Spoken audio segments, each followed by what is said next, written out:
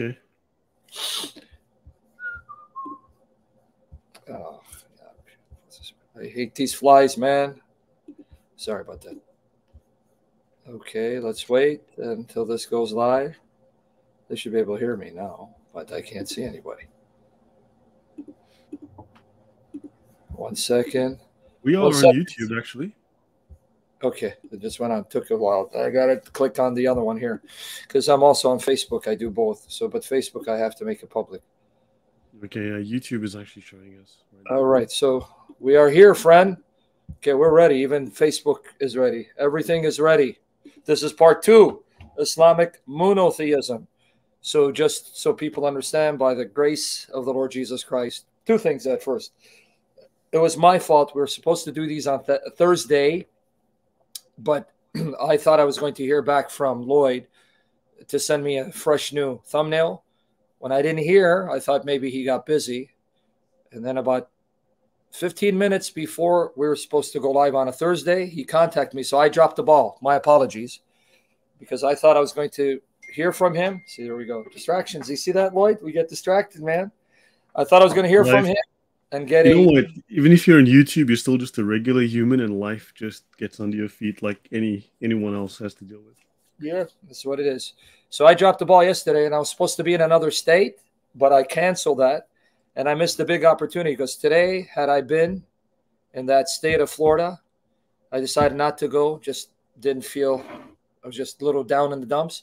Had I gone Lloyd today to Florida, I would have been at an event where Donald Trump would have been the speaker. But since I didn't go, I dropped the ball and I suck, Lloyd. You know, Sometimes we make bad decisions, so next time we uh, make a different decision. by the grace of God. But we're going to try to stay on Thursday. We're going to do these Thursdays. I want to be regular Thursdays unless something really happens, like I dropped the ball. So he was gracious enough to then change his schedule to do it Friday. So glory to Jesus Christ. May the Spirit bless our brother, fill our brother, bless him to speak clearly and to recall the facts accurately. For the glory of Jesus Christ. So, Lloyd, you're going to continue the theme Islamic monotheism because you're going to demonstrate that the Allah of Arabia, Allah of Arabia, notice I said Allah of Arabia, the pagans, was a moon god. So, brother, proceed where you left off. Thank you. Yeah. So I want to say hello to everyone. Thank you all for being here. And of course, Sam, thank you for having me back. Yeah, My Thursday pleasure. is generally easy for me. Fridays I can manage sometimes, but it's unpredictable. My, So- my fault. We'll try to keep Yeah. it Thursday. So no, it's no problem. It happens. I mean, it, it happens, and uh, you know, we we we uh, got it sorted, so that's okay. Uh, I want to say historical Christianity. Hello and welcome. Good to see you. And some of the others. Okay, let's let's jump in without delay. As always, if you have questions, please drop them. Uh, I do try. you- As you bring up your screen, you just did a session for reason answers on child marriages in Islam. The truth. Maybe one day we get not just marriage, but you know the whole thing. Once you get married, you take it to bed.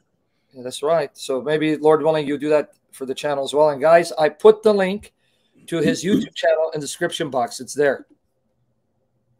Yeah, no, and unfortunately in Islam, and uh, I want to be very clear because it's a very disturbing discussion to have a really Yes. disturbing discussion. I I present the what's called the ijma, the consensus view, but child marriage in Islam, when I and when I say child, I mean up to and including infants in the cradle. And I, I mean this, infants in the cradle. And this means that you can marry that child, and you, as an adult man, can take that child to bed as your wife and do with her as you would to an adult woman. Hmm. I, I hope that makes clear. Believe me, this is written in the Sharia. It is unmistakable. It is blatantly clear.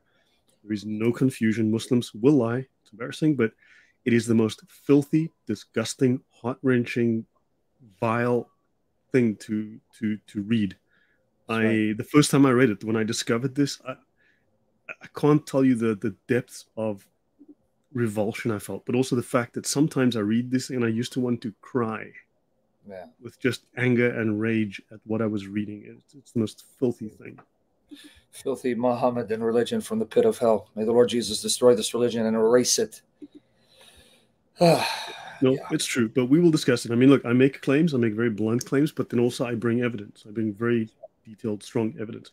Okay, so I want to just go over this slide for a few seconds because I um, I realized I missed spoke last time because obviously you know occasionally you forget things or you just just say something badly.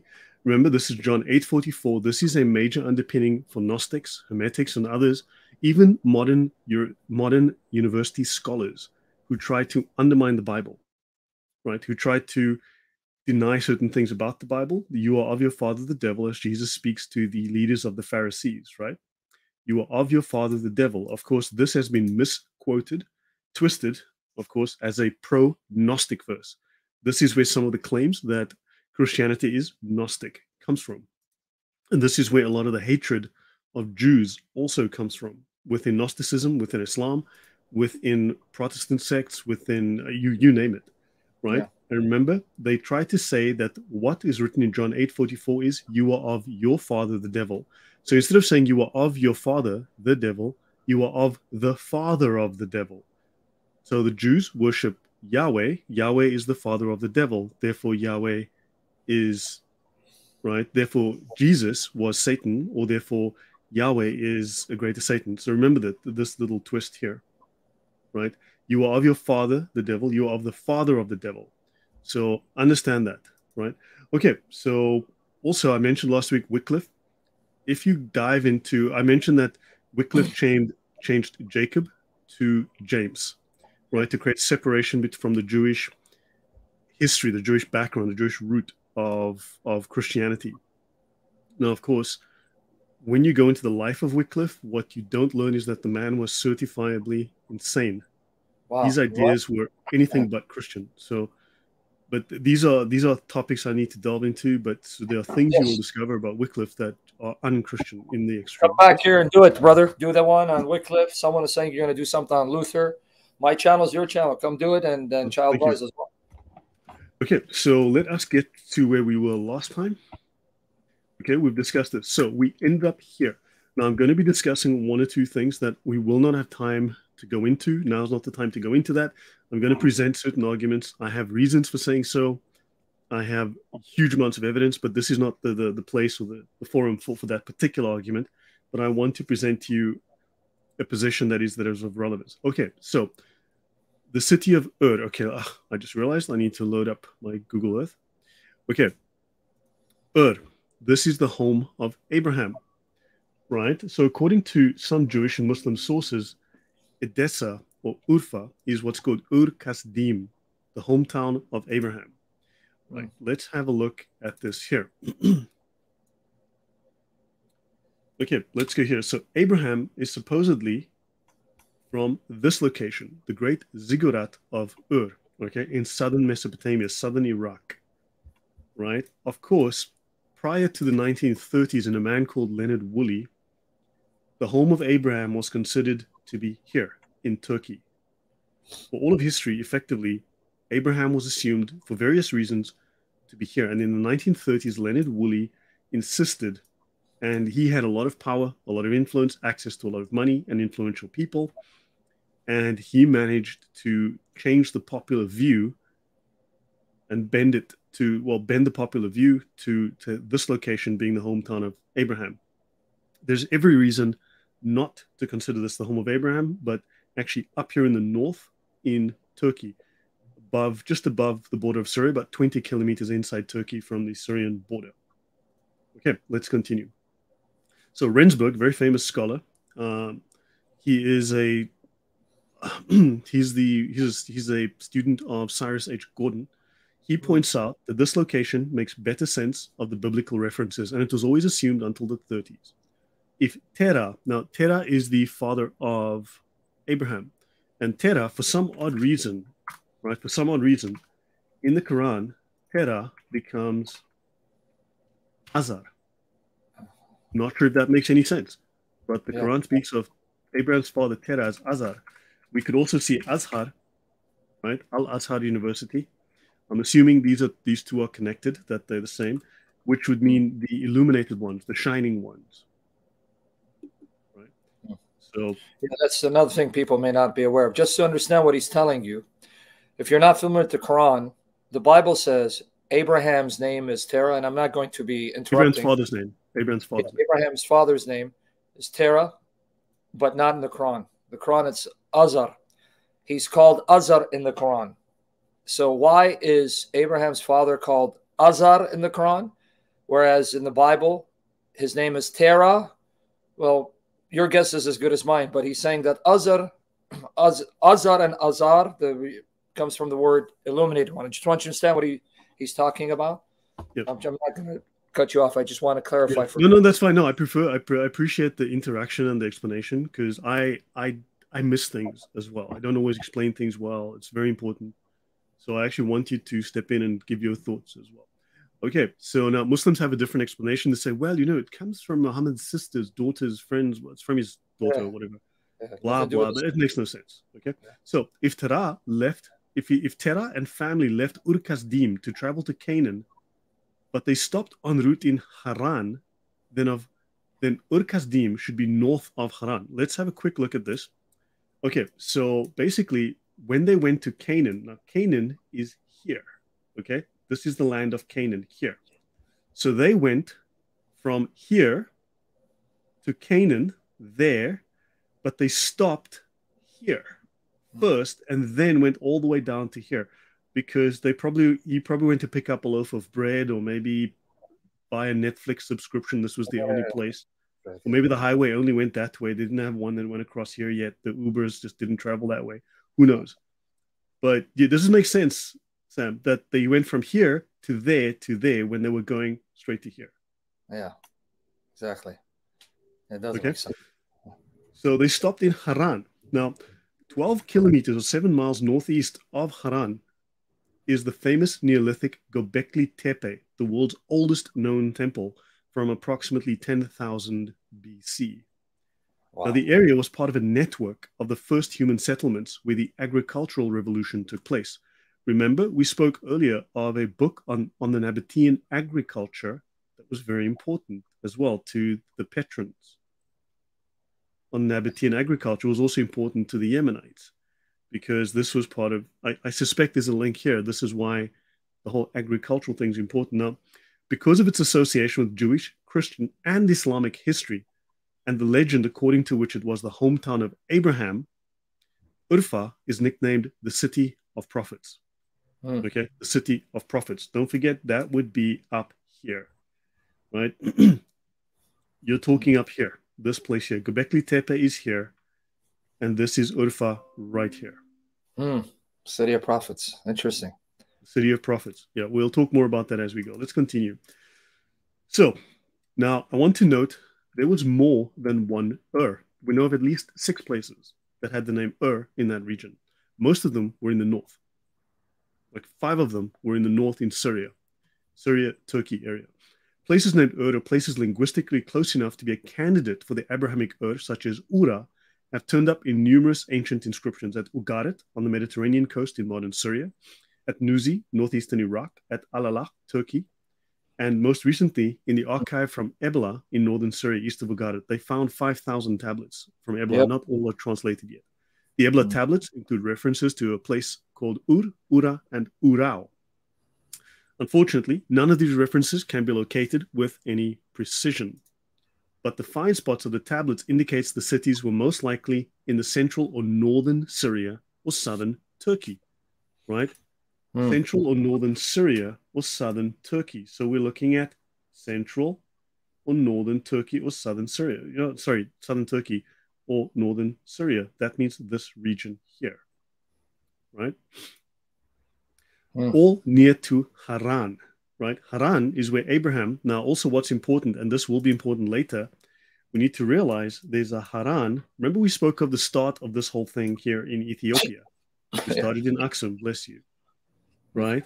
Well, Yeah. it's important to realize there's a Haran, Hiran, but same place, like, you know, named the same next to Al Mahabisha from Ethiopia. Mahabesha, Ethiopia, from Ethiopia or of Ethiopia. Hiran here, Hiran here.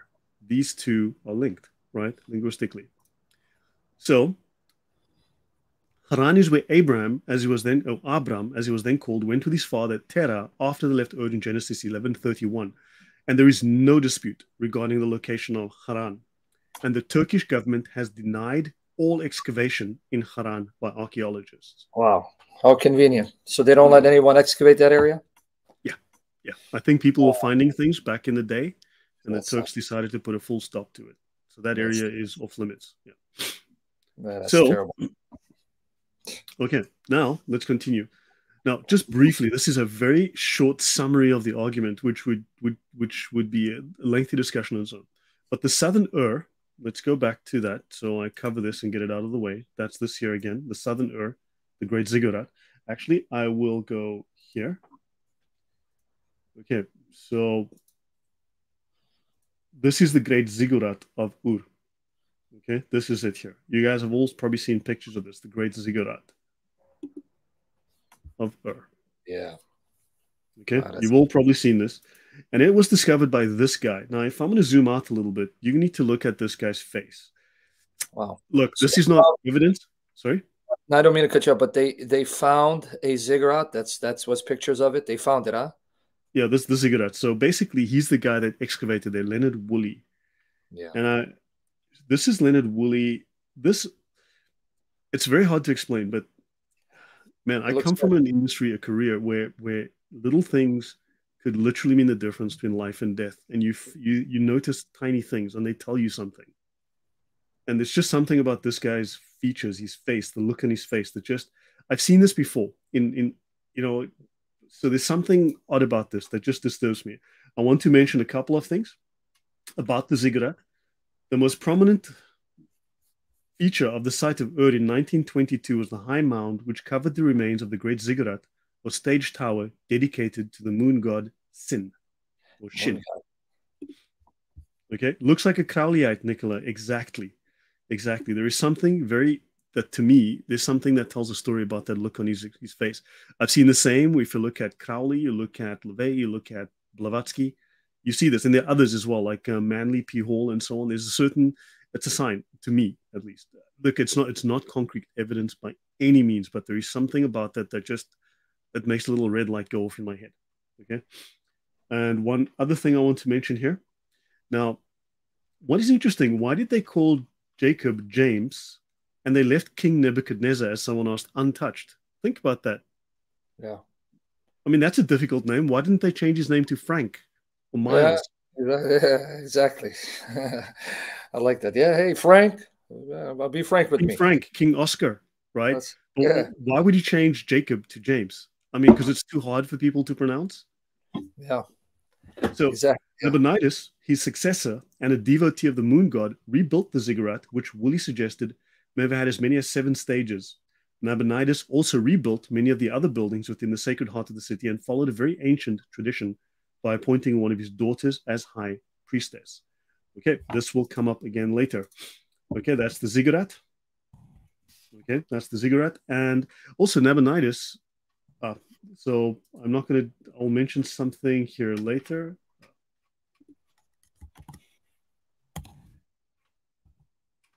As you're going there, uh, could I just share something with the brothers sure, and brethren? Uh, please ask Holy Spirit to help you understand these facts. These are solid historical, textual, archaeological facts. One thing about Nabonidus, why I'm interjecting, when I think it's good for us to focus on what he's saying. I'll interject. Nabonidus worshiped, as he told you, the moon god Sin. If you read the book of Daniel, chapter 5, this is something that astonished critical liberal scholars who thought Daniel was a hoax. I don't know if you're aware of this. Many people think that Daniel was not written by a man named Daniel, 6th century BC, 500 years before the birth of Christ. They think it's a hoax that was actually composed during the pre Maccabean period, around second century BC. In Daniel 5, it says, and I don't mean to take up too much time, I just want them to see how astonishing this fact is. In Daniel 5, it says that at the time when Babylon was conquered by the Medes Persians, Cyrus, Belshazzar was ruling. Now, up until recently, extra biblical sources did not mention Belshazzar. It turned out they found an inscription saying that Belshazzar was the son of Nabonidus. He was acting as king in place of his father because when Babylon got conquered, Nabonidus had gone to Arabia to worship the moon god Sin. Now, here's where you're going to see the supernatural accuracy of Daniel. Not only does Daniel get it right that Belshazzar was acting as king in Babylon when the Medes Persians conquered it, Belshazzar tells Daniel if he can interpret the writing on the wall, Mene, Mene, Tekel Parson, because none of them could interpret it, he would give him the third highest position in the kingdom. Now, notice, third highest. Why didn't he make him the second highest? Because Belshazzar was second in charge, so he could not give Daniel his position. He could only give him position number three.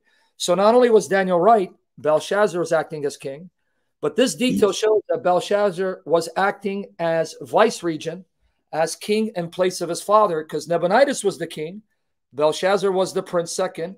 That's why he offers Daniel third position. So archaeology is confirming how accurate your Bible is. Keep that in mind. Yes. That's in chapter five. Go ahead, brother. Yeah, no, we'll we'll cover that again. We will come through that, but thank you. So I just want to mention some evidence here for this. So the Septuagint reflects a tradition connecting Abraham not with the Ur of the Chaldeans, but with the land of the Chaldeans, a designation that covers a much broader territory than the southern Ur. Okay, the Chaldew were a migratory group of Semites related to Aramaeans, and the tradition preserving the Septuagint, Septuagint prompts us to consider locations for Abraham's homeland more broadly than just the area where the Chaldew eventually settled. Another problem with equating Abraham's Ur with the Tel al Muqayyar is that it cannot, it cannot easily account for the sheer weight the biblical tradition places on situating the ancestral home of Abraham and the patriarchs in the north. They mention in the scholar, Speiser bluntly states it is beyond serious dispute that the home of the patriarchs was in the district of Haran and not in the south. Okay. Now, Okay, so I'll continue with this. Let me just go back here. So let's look at some biblical evidence. And there's other, so the southern area is on the west bank of the Euphrates. This geographical fact is significant because it sheds light on the biblical story of Abraham, his son Isaac, and his grandson Jacob. According to Genesis 24 4, when Abraham was old, he dispatched his servant to the land of my birth, which is believed to be Ur, to find a wife for Isaac. The servant goes and he finds Rebekah, who was the sister of Laban, the first person to greet the servant. Later, Jacob, Isaac's son, travels to work for Laban, presumably in Ur. After working for Laban for 20 years, he goes back to Canaan, but had to cross the Euphrates to do so, according to Genesis 31 21. But if the southern Ur is located on the west bank of the Euphrates, it is not necessary to cross the river. Therefore, it is unlikely that Abraham's servant was sent to the southern Ur as it does not align with the biblical account. There is no reason to cross the river here. Ergo, the southern Ur cannot be the place that Abraham sent his servant. Now, there's a lot more. I mean, there's pages and pages and piles to go over, but Woolley, for some reason, insisted on changing the geographical location. Mm. So now, of course, he was also very closely related to T.E. Lawrence, Lawrence of Arabia. But when you read about Lawrence of Arabia, and you learn about his, shall we say, religious beliefs, you start to. Lawrence's views are a little odd, let's just say, just slightly strange and mysterious, right? So let's let's leave that at that for now. So Joshua 24 2. Joshua said to all the people, This is what the Lord, the God of Israel, says. Long ago, your ancestors, including Terah, the father of Abraham, and Nahor, lived beyond the Euphrates River and worshipped other gods. But I took your father Abraham from the land beyond the Euphrates and led him through Canaan and gave him many descendants. I gave him Isaac. Okay. Göbekli Tepe, one of many tepes. So this is Göbekli Tepe here. Okay. San Sanliurfa is just here, right? This is it right here. Now, notice there's more than one tepe. There's at least 19 of these that are known. At least 19 of these temples that are known in this area. So this area, now people will say Göbekli Tepe was buried for 12,000 years and only recently discovered, you know, in the last century, right? However, this area has dozens, dozens of these locations. So the people must have known of these because not all of them covered, not all of them were, were secret, not all of them were buried, right? So this area is well known to have had a long his, historical religious tradition connected to paganism and star worship, right? This is Göbekli Tepe right here. Right? Now, another site that is even older than Göbekli Tepe was unearthed in Turkey. They speak of discoveries at Boncuklu Taria, or Tarla in southeastern uh, are around 1,000 years older than those in Göbekli Tepe. This is according to um, Turkish World World Culture. This is a Turkish website or government website or news website that says there's an even older location. So this is, and this is over here. Okay. So you have very old locations. The, this picture and these things are from official sources. This is from the Daily Sabah, but all of these are taken from official sources from the, the guys who are managing the archaeological and university sites, uh, government sites that are managing this dig. Now, to move on, 9,000 year old shrine in Jordan, Isilim. Wow. These uh, this is a 9,000 year old site. This is Jordan. So this is, wow. This is Israel here. Qumran caves around here. This is the site. Okay. So Jibal al French and Jordanian archaeologists made a unique discovery that sheds new light on daily life and belief in the prehistoric Levant. Wow. Graven idols and pillar statues. These are graven idols and pillar statues. Right? What does it say in the Bible? Yes, you can't have thyself.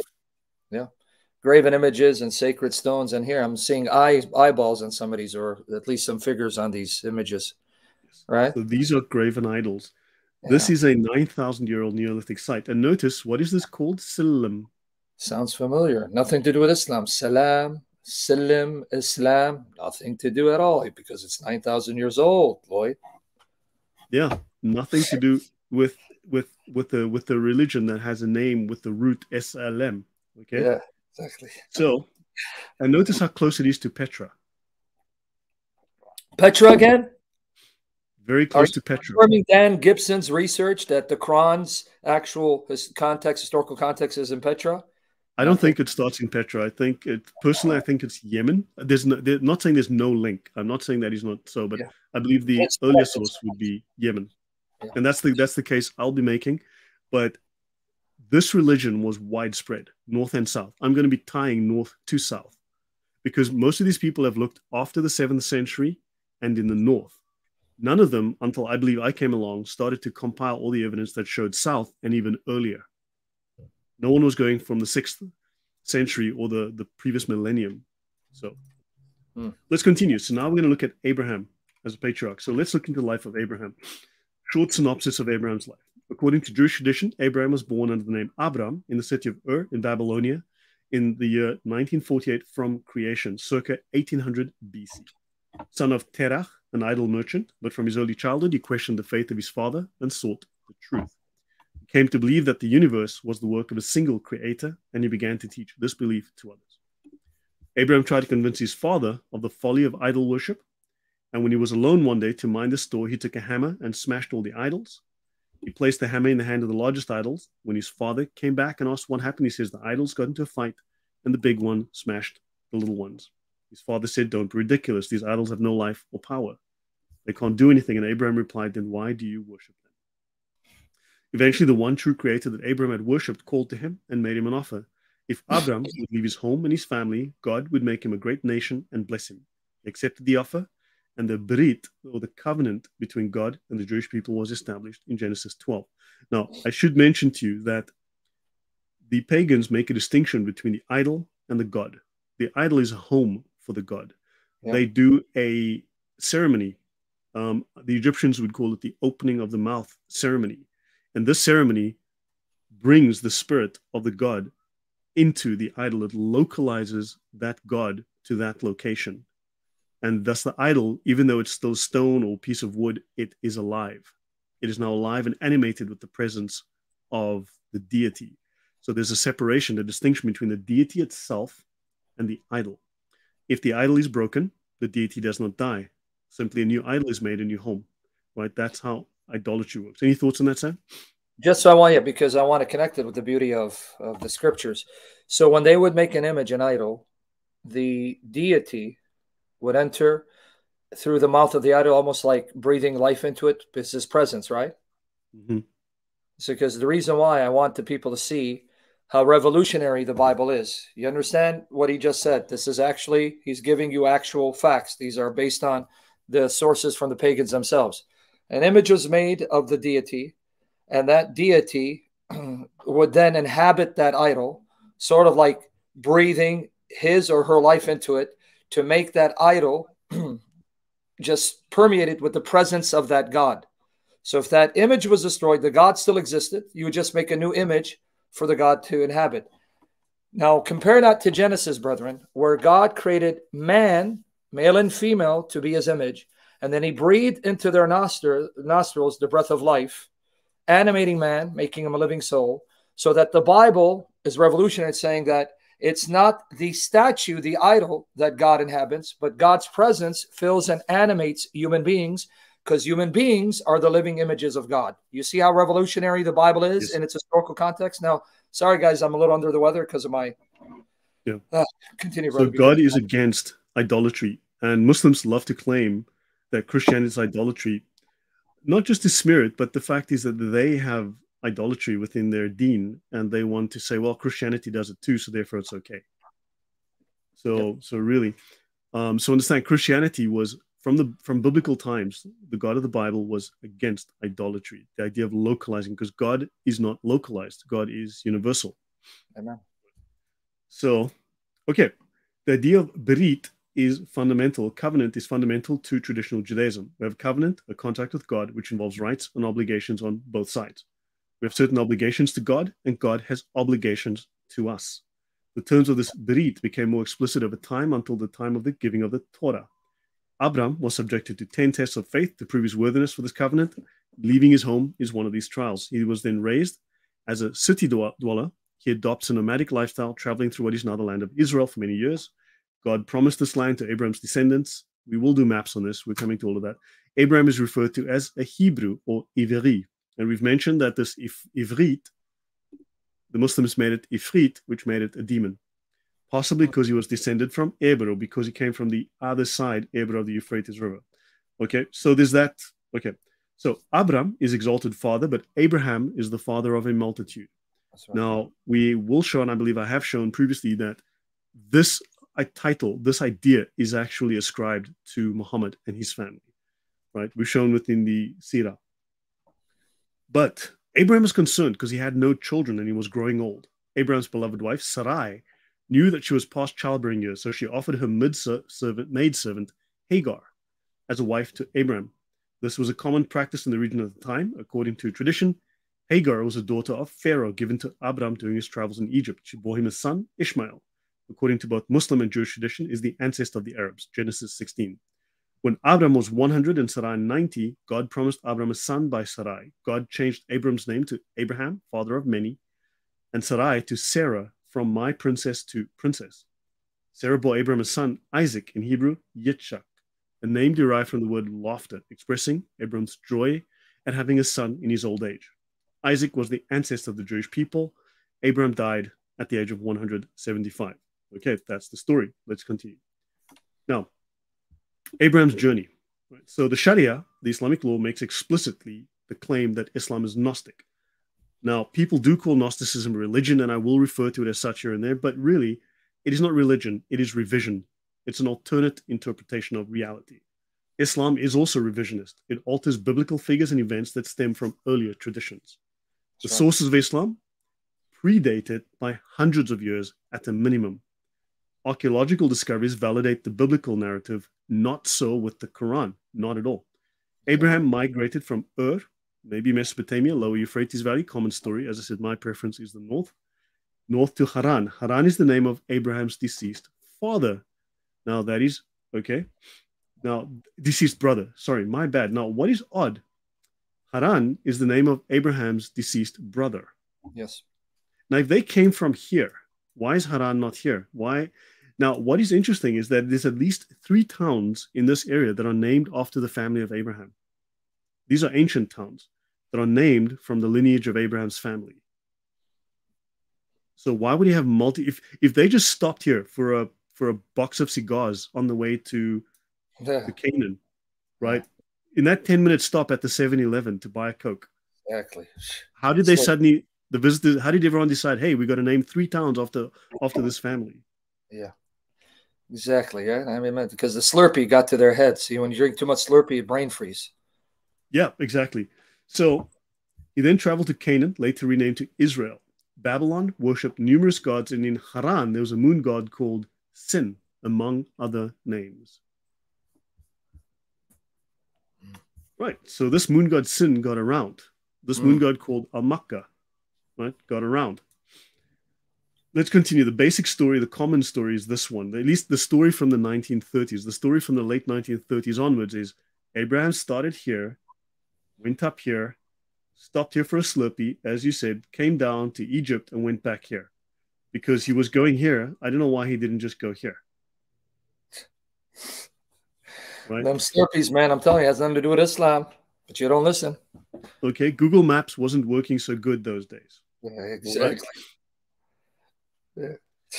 Okay, let's continue. So Hagar and Ishmael. So a bit of a lengthy section here with reading, but Genesis 21. Okay. Abraham was 100 years old. His son Isaac was born. Now, as we know, Sarah was unhappy with the way that Ishmael was treating her son, um, Isaac, right? And what happened is she tells Abraham, look, she's got to go. Okay, her son is abusing our son. In fact, within the within tradition, um, Ishmael tries to kill Isaac, hmm. tries to shoot him with an arrow. Oh, okay, oh, wow. so they get told to leave. So now basically, Abraham rose up early in the morning, took bread and one bottle of water, and gave it unto Hagar, putting it on her shoulder and the child, and sent her away. And she departed and wandered in the wilderness of Beersheba. And the water was spent in the bottle, and she cast off the child under the shrubs. She sat down against him, a good way off, as if it were a bowshot, for she said, Let me not see the death of the child. And she sat over against him and lifted her voice and, and wept. Now, don't forget, she is in Mecca. She's at the Zamzam well, which is the oldest city in the world, which has been continuously inhabited since Adam built the city, right? And the Kaaba has been there as the oldest temple in the universe. And you know, he's joking, guys. He's making fun of Muslim Islam. Now, you may think he's being serious. He's making fun of Muslims because supposedly Beersheba is Mecca and the well is Zamzam. Nothing to do with Gnosticism. I mean, Islam. Yeah, we're, we're going to get into all of this. So, so God hears the voice of the lad, and the angel of God called to Hagar out of heaven and said unto her, What aileth thee, Hagar? Fear not, for God hath heard, heard the voice of the lad where he is. Lift up the lad, hold him in thine hand, for I'll make him a great nation. And Allah, God opened her eyes, and she saw a well of water, and she went and filled the bottle with water and gave the boy a drink. And God is with him, and he grew and dwelt in the wilderness and became an archer. And he dwelt in the wilderness of Paran, and his mother took him a wife out of the land of Egypt. That's the biblical story in Genesis. Okay, so now this is Beersheba. Okay, Jerusalem is up here. Okay, this is this section of the world here. So this is Israel, right? Jerusalem is right here. And this is Beersheba. This is about, I don't know, 70 kilometers from Jerusalem. This is Hebron here, where Abraham died. This is Hebron. Okay, let's continue. So this is Abraham sending away with a jug of water loaf of bread, he sends her away. Now, according to the Islamic story, she went on a 1,200 kilometer trek by foot across some of the harshest desert in the world. I've been down here, I've, I've traveled a lot of this region. Okay. So she walked 1,200 kilometers with a bottle of water and a little boy. Makes perfect sense. Yeah. More sense. Because remember, they had the Burak, you know, that half mm-hmm. mule, half horse, whatever it was that Muhammad rode on. So Burak was like their Uber. So provided rapid transportation. What's wrong with you? If Abraham could do it, go to Mecca for a few minutes and go back and come back back again. Come on. You're yep, skeptic. Yep, yep. Sound like an atheist. So instead of Beersheba, so this is very close to Jerusalem here. Jerusalem is around about here. This is Beersheba. You can see the distance. That's reasonable. But apparently she walked 1,200 kilometers. In fact, more than 1,200 kilometers. Let's continue. So now have a look here. Hebron, okay, where Abraham died, to Beersheba is 43 kilometers. This is like the home of Abraham here. Jerusalem to Beersheba is 70 kilometers or 43 miles. So you're looking at 43 kilometers, 27 miles, or 70 kilometers, 43 miles, right? To yeah. the, the, area around Beersheba. Muslims want to claim she walked 1,200 kilometers yeah. across harsh desert. So she walks 12 and so muslims are taught that the well where she got the water is the zamzam well in makkah Hagar and infant Ishmael traveled 1,200 kilometers with one bottle of water on foot across arid, uninhabited, harsh desert. In the sin, in the standard Islamic narrative, Abraham walks them there, then leaves them under a tree with some ajwa dates, obviously, because ajwa dates will keep you okay. And he walks yeah. back 1,200 kilometers. Okay. Now, now, brother, you forgot though. Muhammad yep. said if you eat seven ajwa dates a day, then magic will have no effect on you. So you didn't, you didn't, you're not seeing this because you're a skeptic, you're an unbeliever. Ajwa is to protect them. If they had at least seven a day, then magic could not affect them, Lloyd. Man. You're skeptic. right. You're right. And in fact, sister in Christ is that Zamzam water, the more you drink, the more you have. Yeah. It's recycled water. Yeah, I, sure. Why are you acting like an atheist when it comes to Islam? Oh, you have little faith. Yeah, so Allah also forgets Hagar is not mentioned by name in the Quran. And as you yes. know, the Quran is perfect, it has all the information. And so ask any Muslim, uh, you guys claim Muhammad had X number of wives, and these are their names, right? And you, obviously say this is true. Can you show me their names in the Quran, please? Just give me a list. It doesn't exist. So, so yeah, you know, the Quran has everything we need. Yes, sure, buddy. Okay, so Paran in the Islamic story is the Hejaz, right? So Hagar searches for water between Safa and Marwa hills. Muslims tell us that Ishmael's heel touched the ground and opened up a well. So Ishmael's heel hits the ground and opens up a well. They also tell us it was an angel's heel that opened up the well. They also tell us it was an angel's wing. The angel was digging a hole with the wing that opened the well. And they also tell us Mecca is the oldest inhabited city on earth and the Kaaba is the oldest temple on earth. It's always been there. It's been there since the time of Adam. Now, here's the thing. In the Quran, it says, O Lord, I've settled part of my descendants in a barren valley by your sacred house, the Kaaba, that they may maintain the prayer. However, in the Islamic story, there is no Mecca, there's no life, no people, no Kaaba. This story makes absolutely no sense. It is ridiculously obvious that this is just fiction. And this Islamic narrative is dated at earliest to 827 AD. Yeah. How let many me, years after Muhammad's death is this? This is 195 years. Yeah, let me explain why you said 827. These claims about Mecca are found in the Hadith literature, like Bukhari, Muslim. And the Hadith literature comes from the 9th century, 800s. This is what he's telling you. So understand the connection, what he made, brethren. Chapter 14, verse 37 of the Quran, just to reinforce your point, because you're bringing up superb points that you apologists need to remember.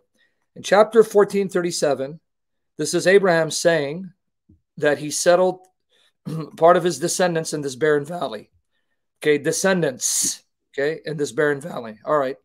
Well, according to the Islamic sources, this area was barren. There was no one dwelling there when Hagar and Ishmael decided to go by foot well, over 1,200 kilometer, kilometers away from where they initially were drinking Slurpee on the way. And supposedly, this barren valley is Mecca. And then the angel miraculously caused Zemzem to gush because with his heel, he hit the ground. And, but all of this is not in the Quran. Understand what he's telling you guys? It's not in the Quran. It comes from these sources that come 200 years later after the death of Muhammad, if we can date Muhammad's death to the 600. So pay attention to what he's telling you. So go ahead, bro. I just wanted to catch well, this. Thank you. No, that's that's good. No, I appreciate it because I I like the fact that you corroborate what I say. Yeah. You know that that I mean because I would expect that you would immediately say, look, that's false. You know. No, no, it's true. Your sources on Mecca and the Kaaba and Hagar and Ishmael and Jibril you know, striking the ground with his heel. That's not in the Quran. None of that is in the Quran. Nada, zip. It's in the Hadith literature that comes 200 years plus after the reported death of Muhammad. So keep that in mind. Ninth century sources, ninth century AD, 800s. Yep. So I'm going to mention something that we will come back to some of these. I will repeat some of these points because people do forget and it's worth repeating in context. I want to show this is the Kaaba here. This is the Hatim right? This will be important later. The Zamzam well is here. You can't quite see it, but this little section, that's the Zamzam well, right? Now, according to Islamic tradition, Hagar and Ishmael are buried right here. Let me let me zoom in here. Okay, let me bring this over. Hagar and Ishmael are buried right here, literally next to the wall of the Kaaba, inside the Hatim. Right now, here's the thing: there's lots of we'll discuss this at length in the future, but Muslims could simply just show us archaeological evidence of their bodies right there. Exactly. Why haven't they done so? That's a good right? question. And also, if she, if the Zamzam well is here, they were less than 40 meters, they were 30 meters from the Kaaba.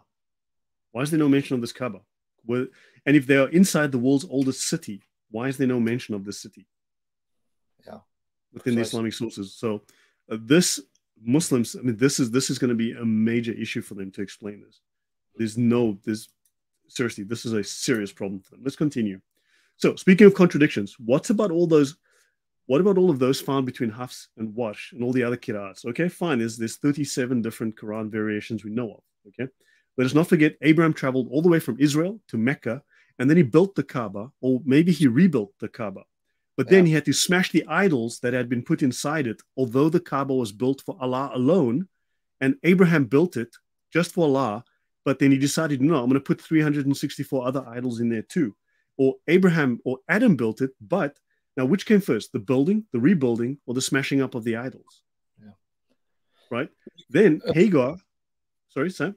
I want to understand what you mean, rebuilt it, because a lot of the Christians don't understand in Islamic tradition what they believe the Kaaba. Now, uh, brethren, what he's asking is, did Abraham build the Kaaba with Ishmael or rebuilt it? Now, why is he saying that? According to Islamic tradition, pay attention, because now when Lloyd is speaking, he's already assuming you have enough knowledge about Islam so that he doesn't have to clarify. And he's right to assume that because if you've been following these channels, you should know this. But in case you're new here, the Islamic tradition says that Adam actually built the Kaaba the Kaaba was there even before the flood of Noah. So what Abraham and Ishmael did, they rebuilt it. So Abraham did not build it, he rebuilt it. That's why he keeps saying. So did Abraham build the Kaaba or rebuild it? Because there are Islamic traditions that say Adam actually, who landed in India when he was thrown out of this is an Islamic tradition, by the way, I'm not making up. When Adam was thrown out of Jannah, he ended up in India, but went to Arabia, built the Kaaba, and then Abraham comes later and rebuilds it. So that's why he's asking the question. Go ahead, brother. Yeah. And then, of course, Muhammad or Abraham has to smash a bunch of idols. Muhammad has to do it again later. But Abraham has to smash idols, right? Although it was built for Allah alone. So we'll get to that story as well. Now, which came first, the building, the rebuilding? Okay, so Hagar was running around the desert looking for water between Marwa and Safa. The Zamzam well was granted to her, except this is 30 meters away from the Kaaba or rather the ruins of the Kaaba because Abraham rebuilt it, or maybe he built it. We're still trying to figure this out. This means that it could not be a Mecca at that time because she was close to the Kaaba and was in the desert. This means that the desert had reclaimed the area of Mecca, meaning it was abandoned or not there at all. But Mecca is the oldest city in the world since the beginning, and it's always been there. And then, of course, the Quran, sorry, the Islamic tradition tells us that people were much taller back then and they got yeah. shorter. That's okay. Right. So, in other words, Adam Abraham, Zilla. Adam Zilla, Abraham, sorry, Adam was 36 meters tall, or roughly 90 feet tall. So, of course, over time, people got shorter and shorter and shorter. I don't know how tall Abraham was, right? Kyrie on, yes. Yeah. So, the fact is now, if Abraham was 90 feet or 36 meters tall, why would he build a Kaaba that was too small for him to fit inside? Yeah, that's when someone asked that question exactly. He's anticipating your objection. Yeah. He's like, wow, a 90 foot Adam built a small Kaaba. How? Yeah, for, for what? For whom? For for ants? For midgets? I mean, what? I mean, exactly. seriously, because we, we're looking here at this is Zoolander levels of questions, you know? Yeah, exactly. You're building. right? Not new Islam, though. Keep that in mind. Not new Islam. It has to do with 7 Eleven and Slurpees. Don't forget. Okay. So now there's none of this in the Quran, and there's none of this. There's no explanation for these contradictions. I've asked Muslims about this, and then they uh, go silent on me. Okay, let's move on. Now, according to Islam, no prophet or warner was sent to Arabia. That's why they had to send Muhammad. Abraham and Ishmael went to Arabia, and they're both Muslims, and they yeah. Abraham was a prophet. So okay, but no prophet or warner was sent to Arabia except Abraham, the patriarch, who went there with Ishmael, who's also a I, I don't know. My, my brain's starting to hurt. And if a 90 foot, 36 meter Adam was the first Muslim in Mecca and he built the tiny Kaaba, then Abraham went there with his son and rebuilt the Kaaba and called pe- people to worship Allah according to Quran 397. Why does the Quran in 3440 say, and we had not given them any scriptures which they could study, and we had not sent to them before you any warner, or to whom no warner had come before? And if there were people there, where were the people when Hagar got there? Let me emphasize the point you made. Guys, this is a brilliant statement. Please, brethren, listen. And I hope you don't mind if I just reinforce what you're saying. According to the Quran he just quoted, brethren, chapter 34, verse 44, did you catch it in 28, 46? Pay attention. Quran says Muhammad came to a people that had no warner sent to them, meaning before Muhammad, this group did not have a prophet, messenger, warner sent to them until Muhammad. How can that be? Understand the argument, brilliant argument.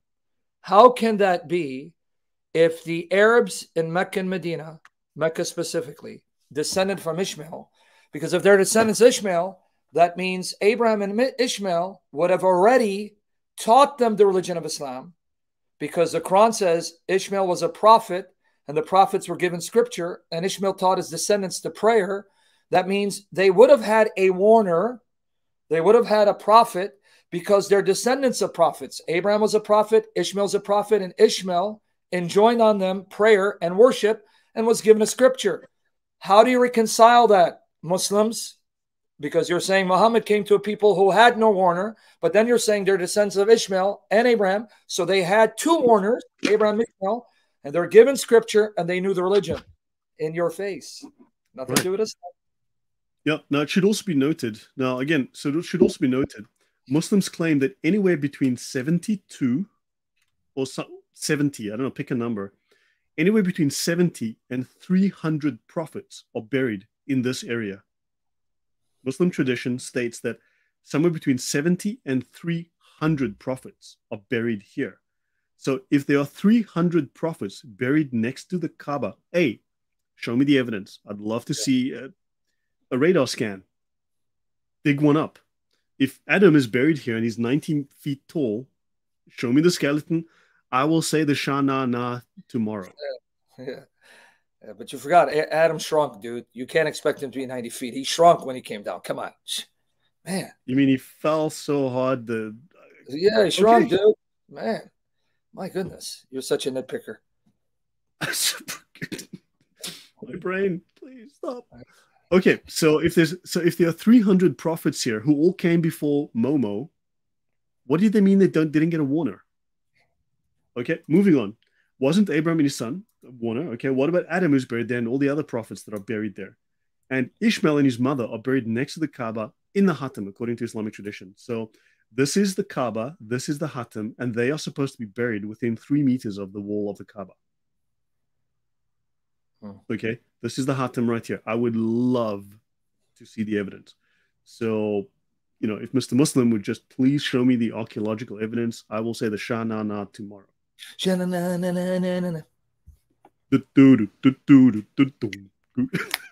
right. Yeah. I um aging. Okay, now let's go to Wikipedia. Now, obviously, Wikipedia, Wikipedia, as I call it most of the time, not always the best source, but man, sometimes it is very good, sometimes yeah. it's terrible. But let's look at this article. A Wikipedia article called Ancient Towns in Saudi Arabia does not list Mecca, nor does it list Medina for that matter. It says 13 ancient towns have been discovered in Saudi Arabia up to the present day. These include Qaryat al Faw, which is really fascinating because we've mentioned and we will mention Qaryat al Faw again when we talk about paganism, when we talk about the moon god Sin, the Mesopotamian moon god, and how the Yemenis invaded and this was their capital. And this city exists today. And they controlled this whole region and they worshiped the moon god of Babylon, the same mm. god of Babylon up here. And this was the capital. So they mentioned Qaryat al Faw. Okay, we'll talk about that more later. Al Ukhdud, archaeological area, Hegra, Madain Saleh, okay, up here, Juba, Tarut, blah, blah, blah, Tema, and blah, blah, blah.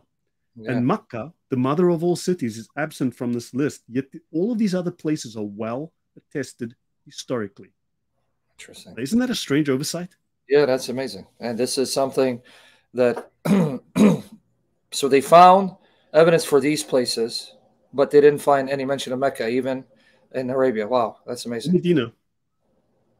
Wow, that's it's it's it's amazing. Now, how, how, are they going to explain this uh, oversight? I don't know, but that's their problem. So we'll continue. Right.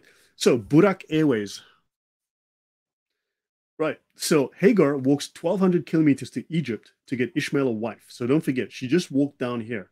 Now she's got to go all the way up here. Then she's got to go all the way down here to here. Then she's got to come all the way back and back here. Okay. That's a little bit of walking, right? So in Genesis 25 9, and his sons Isaac and Ishmael buried him in the caves of Machpelah in the field of Ephron, the son of Zohar the Hittite, which is before Mamre, which is Hebron. Okay, this is Hebron right there. Okay, roughly 30, 40 k's from Jerusalem, right? Let's continue. So Abraham dies in Hebron.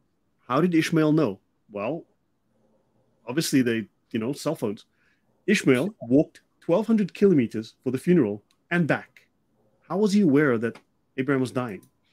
Ibn Kathir says Abraham often rode upon the Burak to Mecca, coming suddenly to his son and then returning, and Allah knows best. Okay? Now, Ibn Ishaq's tradition about Abraham riding on the Burak to Mecca, where he visits Ishmael, is found three times amongst the sources. Abraham was accustomed to taking day trips to Mecca in order to check up on Hagar and his son. And on one of these visits, he takes Ishmael to the sacrifice. Right? Yeah. This is where you know where God says, "Sacrifice your son." Yes, exactly. Now, I've spoken to look. I've had I've had extensive discussions with various learned Jews, rabbis as well, and they they insist. They tell me that what that passage says and means is that God told him, "Prepare your son for sacrifice." He's not told, "Sacrifice your son." He's told, "Make preparations. Go through the preparations for the sacrifice." So there's a distinction that they make within that. That's that's something they've they insisted upon with me. Now, this tradition provides no connection with the pilgrimage or building the Kaaba. So Abraham's presence in Mecca has no connection to pilgrimage or Kaaba, although it connects the sacrifice to Mecca. Hmm. Right? Now, the earliest datable mention of Burak is by the poet Ajaj, who died in 715 who mentions it in connection with Abraham in a poem. Poems are normally known as fiction. Precisely. Precisely. Your thoughts, Sam? Yep. No, I, uh, people, you understand who Burak is supposed to be, right? Burak is that animal that Muhammad rode from Mecca to Jerusalem and then throughout the seven heavens. The tradition says Burak was the animal that the prophets would ride on. So understand what he's telling you how did Abraham end up in Mecca so quickly? Because Burak would transport him from Canaan to Mecca in a nanosecond, like when Solomon used to ride the winds, ride like the wind. Anyway, so that's why it's Burak Airways. But for some reason, Burak's engine shut down, so we don't have Burak Airways anymore after Muhammad. So I just wanted to let them know that's why it's Burak Airways. But thank you for that. Yeah. So the so the earliest mention of the Burak is not in the Quran, it's not in the Islamic sources, it's in poetry by a guy who came 100 years after Muhammad. Yep. Right? 80, 87 years after Muhammad or whatever. And he mentions it not in connection with Momo, but in connection with Abraham. Hmm. Right? So let's have a look here. This is also, by the way, we should mention within the Quran, sorry, within the Hadiths, okay? Mo curses the Jews and the Christians because they built mosques, they built temples on the graves of their prophets. Right? Yes, it does sound like the dragon sent Demetrius. Now, notice Muhammad curses the Jews and the Christians because they built cave, they built temples on the graves of their prophets. Just so you know, this is where Abraham is buried, and of course, there's a big mosque built over it called the Cave of the Patriarchs, and they have this huge mosque built right on top of it, because because it's a curse upon those people who build mosques and temples on the cave on the burial places of their prophets. Because Islam wouldn't be Islam if it wasn't a bunch of hypocrisy. Yeah, hundred percent. Right. This is in Hebron, by the way. This is a mosque. They've claimed this cave of the patriarch and they built a mosque over it. And this is something that, of course, Muhammad curses Jews and Christians for. Okay, so Mo is here having a read on the Burak. The illiterate Momo is reading a book on the Burak. Now, notice this looks very Hindu, but that's another story. Oh, or Zoroastrian, okay? Yeah. So the exactly. Burak means lightning. So let's have a look. Okay, let's let's look at this. So Al Borak, Borak. Now you must understand when you're looking through the sources, you have to look for spelling mistakes and alternatives. Like for instance, I will give you an example here. I'll give you an example. If you look through older sources like the 16, 1700s, and you look for Adija, okay, you have to look for Khadija. You will have to look for Khadija. You will yep. have to look for Khadija. If you're looking through documents, believe me, it's very laborious. But if you go through 17th and 18th century, 17th century sources, this is the name you'll have to look for. Khadija. Okay. Now you can miss critical information because you don't know about this. There could also be a misspelling. Okay. It could be like this. It could be you, you have no idea. You have to look for any possible variation.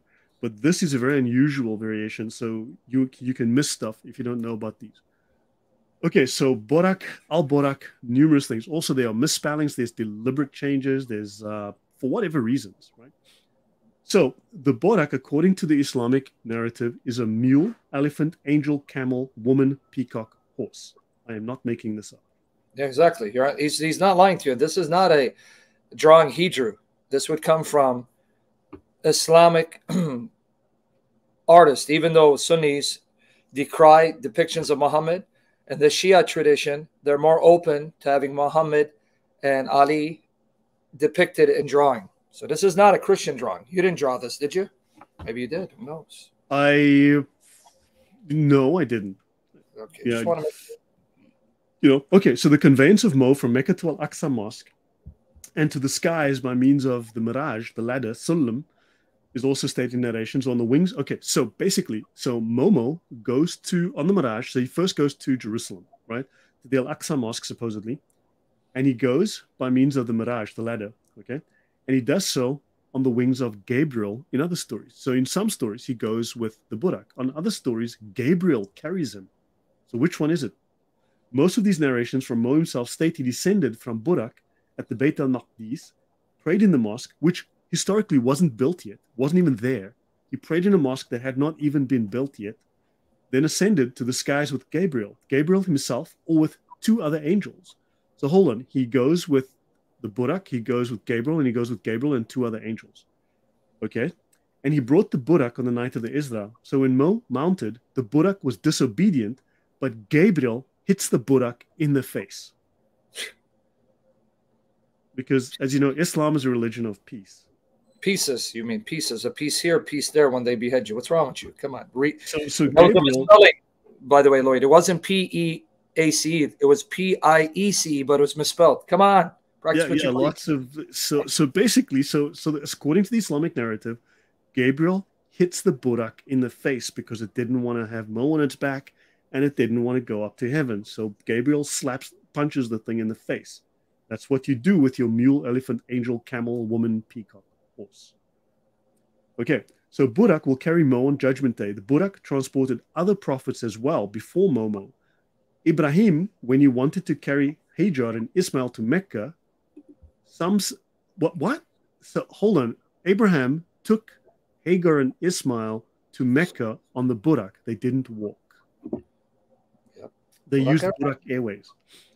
Now, the descriptions of the Burak are conflicting. They're very unclear in the Islamic sources. During ascent, going upwards, its hands became smaller than its feet, and during descent, the feet became smaller than their hands, which keeps the person on its back straight. It is described as a huge mount with a furry mane with a white skin. It has a skin with the best color amongst all the animals. So it's got beautiful, beautiful colors like the rainbow, but it's also white. It's just plain white, except it's got all the colors of the rainbow. Its face was similar to a human's and it could hear and understand like a human. So that's a very clear description of this. Let's continue. Now, let's look at Islamic mystical literature. Five creatures sit in five trees. The first white sphere, the lion, the Buddha. Hold on. Islamic mystical literature, all of their Gnostics and their mystics talk about the Burak as a mythical creature, the white falcon, the royal phoenix. And the Burak comes from the light of Muhammad. Oh, so Muhammad's light not only made all the prophets, made the earth, made the heavens, made the sun, Muhammad's light also created the Burak. Mm. You know, this is amazing.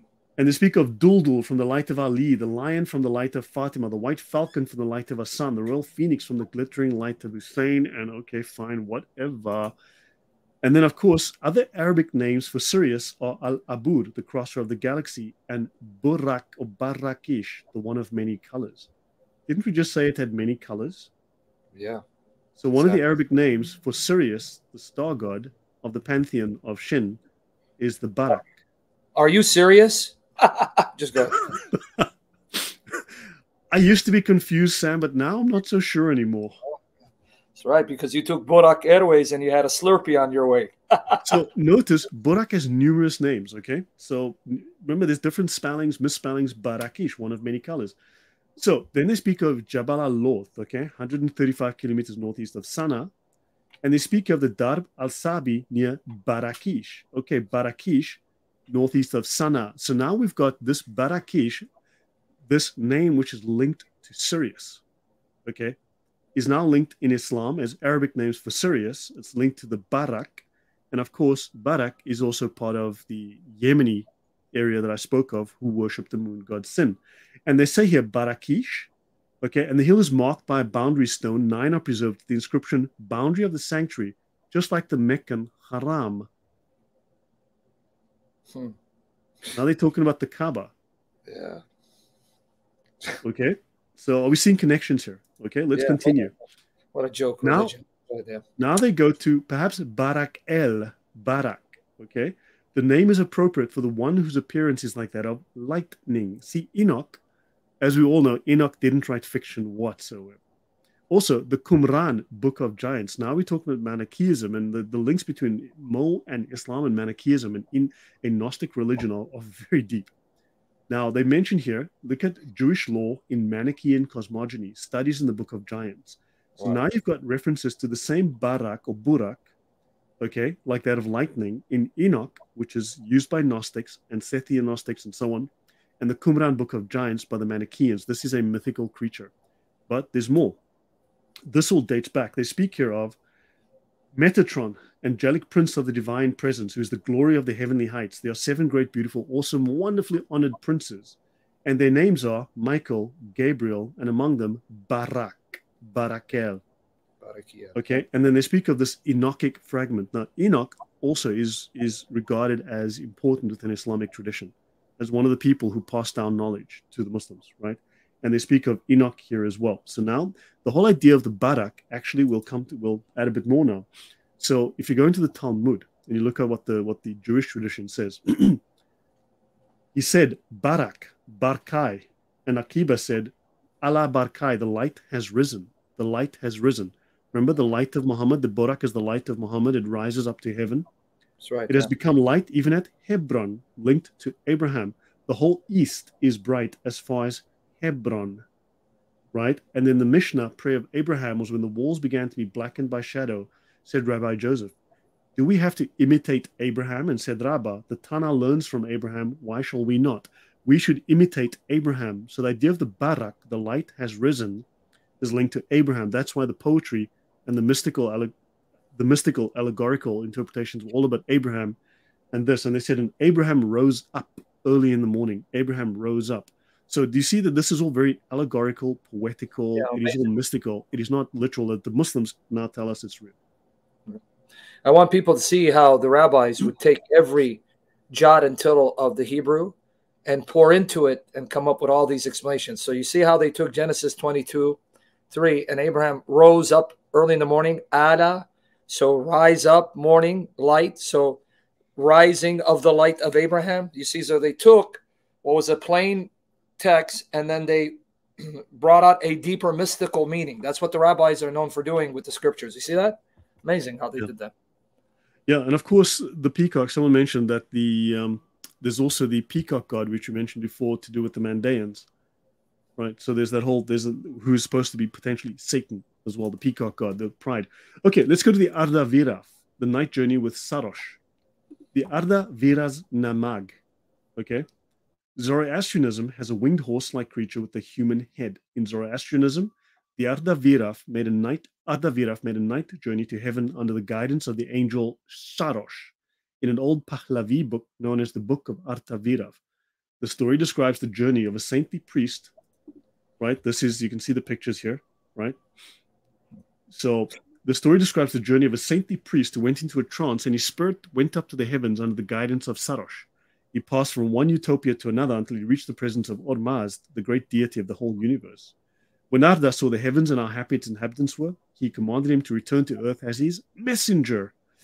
Ooh, sounds a little familiar. To tell the people all that he saw and heard. And Ormazd commanded that his followers pray five times a day. Sam, am I? Wow.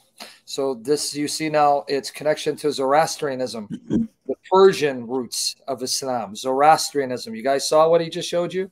These are the sources of Zoroastrianism which was the ancient religion of the Persians before Islam conquered Persia. And here they have a tradition where in English it's, uh, well, they, we call him Zoroaster, but it's Zarathustra, isn't it? That's what his name would be. Zarathustra, yeah, something like that, yeah. Yeah, so you see how he goes on this winged animal creature that resembles the Lamaso, the Babylonians. We call that Lamaso, that image you had. In our my language, we call it Lamaso and he goes to see the God and he's commissioned as a messenger. See the connections? All the pagan connections that shaped and fashioned Islam and Muhammad? Amazing. Mm. And here's the bull's horns. Keep that in mind as well, these horns. So, in both religions, there's a specified worship of five times a day commanded by Allah or God. Zoroastrianism and Islam share a specified worship in relation to the movement of the sun. Zoroastrians call this specified worship Gah worship or prayer, the term gah means period of time or place. So gah worship means loosely timed worship. So timed worship in Islam as well, five times a day. Let's continue. So the Battle of Badr. I just want to mention this is a very look. I'm not saying necessarily that that anything I tell you is conclusive, but I just want to show you examples, context of how of these ideas throughout history, throughout other similar groups. The Barack Obama, okay, the Barak lightning flash. The name occurs in Sabaean Barkak. Now, the Sabaeans are the Yemenis, the Yemenis that we started off with. We started with the Ethiopians, who were then worshipping the Yemeni religion, had been conquered by Yemen. Then we went to Yemen itself, and we'll be coming back to Yemen. But the Sabaeans also happen to have the Burak. In Palmyrene, Barak, and in Punic, Barkas, okay, a surname of Hamilcar, and as divine name in Assyrian, Raman Birku, and Gibil Berku. So notice the name is, there's numerous different variants of the name, but they're all the same name. Barak, so you can see the Barak, Barkai, all of that, it's, it's the same name. Barak was the son of Abinoam of Kadesh, a refuge city in Mount Naphtali. He was summoned by the prophetess Deborah to lead his countrymen to war against the Canaanites under the leadership of Sisera. Now, that's an interesting story as well. There's something to do with there. If I ever talk about that in Judaism, that's something to look at as well. From the celebrated ode of Deborah, we gather that Israel suffered at the hand of the enemy. The caravan roads were in danger, traffic almost ceased, the cultivated country was plundered, and Barak, accompanied by Deborah, blah, blah, blah, blah, blah, blah. And if you look at this, under the heavy rainfall, the alluvial plain became a morass in which the heavy armed troops found it impossible to move, and Barak eventually killed them in his tent. Now, there are certain parallels here with the idea of the Battle of Badr. Even the word Badr has a particular meaning, so that's but just thought I'd mention that. Did you pick up anything from this? Or, but there's just a point of interest here. Someone was asking about the Zoroastrian religion. So I just want to comment. I, I don't know. Sure. I know uh, we were not always sanctified. You guys know Freddie Mercury of the band Queen? Mm-hmm. Freddie Mercury? Freddie Mercury was a Zoroastrian. There are still people who claim mm-hmm. to be Zoroastrians. So for those of you 400,000 in the world. Yeah, say to how many? 400,000. I used to know one. Yeah. See? And Freddie Mercury is perhaps the most famous Zoroastrian. So there are people who still follow the Zoroastrian religion because that was the ancient religion of Persia. Freddie Mercury of Queen, the most famous, I would say, Zoroastrian because he's a rock singer. Anyway, yeah, they're still around. Go ahead, brother. I just wanted to make right. that clarification. Okay, so Abraham built the Kaaba. So narrated Abu Dharr, I said, O Allah's messenger, which mosque was built first? He replied, the Al Masjid al Haram. I asked which was built next. He replied, Al Masjid al Aqsa, Jerusalem. Okay, so the Kaaba was built first and then Jerusalem. I asked, what was the period, period in between these two mosques? And he replied, 40 years. This is in the Da'if Bukhari, volume 4, book 55, hadith 636. Remember, Da'if Bukhari, because it. Let's have a look. This is where the Christian era begins. All right. King Solomon builds the Temple of Jerusalem in approximately 957 BC. Right. According to the 7th century Muhammad, the Kaaba is 40 years older, built 997 BC. Now, this is false because Abraham was born around 1800 BC and died 1625 BC. Now, now here's the thing: weren't we just told by the Muslims that Abraham either built or rebuilt the Kaaba? But now we've got Momo himself telling us that this building was built 40 years prior to the Temple of King Solomon in Jerusalem. So this guy just told us here. I don't want to call Momo a liar, but they were just telling us that he built it, or maybe Abraham Adam built it, or he rebuilt it, or something. But Sam, does this make any sense? See, this is your problem again. You're trusting extra Quranic historical sources and archaeological inscriptions, not realizing they're all corrupt. Everything is corrupt. Even your face and my face are corrupt. Only Islamic sources are true. Who told you Abraham lived at that time? If Muhammad said the temple was built 40 years before the Temple of Solomon, then that means Abraham did not live according to your information, 1800 BC. When are you going to get with the program before I get Burak to take you away? Okay, man. So, you know what? Mo was a time traveler. Hold on, I'm, I'm getting it now. I'm, I'm hearing yes. the voices. That's I'm, what I'm, happens when you go to Iraq to drink some Slurpees. What's wrong with you? Great. So, so so yeah i mean do you understand this this story the whole story of abraham in islam makes absolutely no sense. If we had to sit down and properly prepare the history of abraham and mecca islam would have nothing to defend themselves on this because the story of abraham tears islam apart. Let's continue. Okay so a couple of resources. You can see these tafsirs okay 1437 and then, of course, Harald Motzki wrote an interesting book, um, Abraham, Hagar, and Ishmael at Mecca, a contribution to the problem of dating Muslim traditions. Journeys in Holy Lands, the evolution of the Abraham Ishmael legends in Islamic exegesis, Reuven Firestone. Then History of Egypt, Chaldea, Syria, Babylonia, and Assyria by G. Maspero.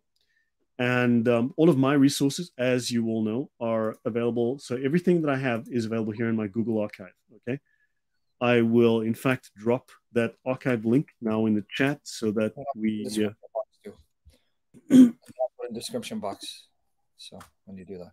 So I've just dropped that in there. okay, I'm going to drop this link in again a couple of times. That's the, my link to my archive. Everything you need will be here. Also, I want to mention I'm going to drop this link in as well. This is my OneDrive link. Okay, this is my OneNote link. I have numerous articles here right? Which I've written lots of details, things I've collected, the things I've written. So, for instance, just as an example, so if you want to find some information, you can do a search here, right? But besides that, there's this common claim that Christianity was invented by Paul. As you can see here, I have this very lengthy series of articles discussing the overlap between what Paul says and what Jesus says, how they are completely corroborated, right? That Paul nowhere contradicts or conflicts with the with the discussions within the New Testament, and I'll talk about the origin of much of the. I'll have you do that series here when yeah. you finish these series. We'll get you to do that as well, God willing. Yeah. So, so that was just an example. I wasn't, yeah. So I've got loads of things here. So there's loads of stuff that I have here, um, talking about, you know. So we can talk about, for instance, the covenant of Noah. I've got loads of things. If you want to have a look at that, I will drop that link shortly. Okay, so now again, um, yeah, so let me skip that, move on. Okay, moving on here. Right, let's look at old maps. So, Sam, any comments or questions so far? I'm going to move on to a new section, old maps. No, it's phenomenal so far. And people are seeing the only miracle of Islam is that people think the Quran is miraculous. You really have to be ignorant of the Muslim sources, or you have to be pretty much intellectually challenged to continue to believe this. This is pure garbage. But may the Lord Jesus have mercy on these Muslims and they see the light of Christ, not of Muhammad. Yep. Okay, so I'm going to drop that link in the chat quickly, and then I'm going to. Um, this is my one my one note. You'll see Islam shared. I've just dropped that. Okay, let me move on. Okay, now we're going to talk about old maps, right? So, old maps were not yet Googleified, right? For those people who were born in the modern era, Google wasn't always around. Okay, Now, different maps used different coordinate systems. They had different accuracy, they had different measurements. Now, notice down here, we've got Ethiopia sub Egypto. Anything south of Ethiopia was just, so basically anything south of Egypt was just called Ethiopia because that was the extent of their knowledge, right? Now, notice here where Mecca is, where Makkah is, it says here Sabai, the Sabaeans, right? And then up here in the north, close towards, as you get towards Petra, Arabia Deserta, you have Saraceni, the Saracens. This would be the destitute of Sarah. Right? I discussed that in the previous one. So Sam, notice up here on this old map, this is a this is a 15th century map of Arabia, approximately 1478, obviously based on earlier maps. You can see the inaccuracy of the map here. Notice here next to Mecca, where Mecca should be, you've got something called Sabai, the Sabaeans. It says the Sabaeans are here. And then the Saracens are up here. Any thoughts on that before I continue, Sam? Yes, I want you guys to see how it's going to converge. If you remember the previous sessions, who the Sabaeans were, Saba, they're the ones that worship the moon, stars. They had eventually seven prayers, went down to five prayers. It's going to connect with Islam and moon worship. So follow the flow, see how it all converges. I just want to remind them of the previous session because you brought this up about the Sabians from Saba and so on yep. and so forth. Okay, so now we're going to talk about Makaraba. So Muslims like to claim, well, you know, Mecca was discussed actually as early as the second century. It was called Makuraba. Did you know that? Did you know that? Alhamdulillah. Alhamd to Allah. Take beer. Which beer? Not. We all know which beer we don't drink anymore, right? Anything from Budweiser, we don't touch that stuff. Yeah. That's that's that, that's uh, tranny fluid. exactly. So I used to be hesitant drinking Corona because of the virus, but now no more Budweiser. That's why it's Michelob all day. Okay, so now Ptolemy in his geography calls Makaraba at 73 degrees, 20 minutes, 22 seconds. Okay, that that's all the detail we have for this place, which is not really enough to to nail it down. Okay, now Makaraba or Makaraba, according to Ptolemy, it is a city in northwestern Arabia, Felix, Happy Arabia. Arabia Deserta is southern Syria to the northern Hejaz, right? That's the northern section where we saw Saraceni. Arabia Felix is the southern part of the Arabian Peninsula, which includes incense producing Yemen, Oman, southern Saudi Arabia, including Najran.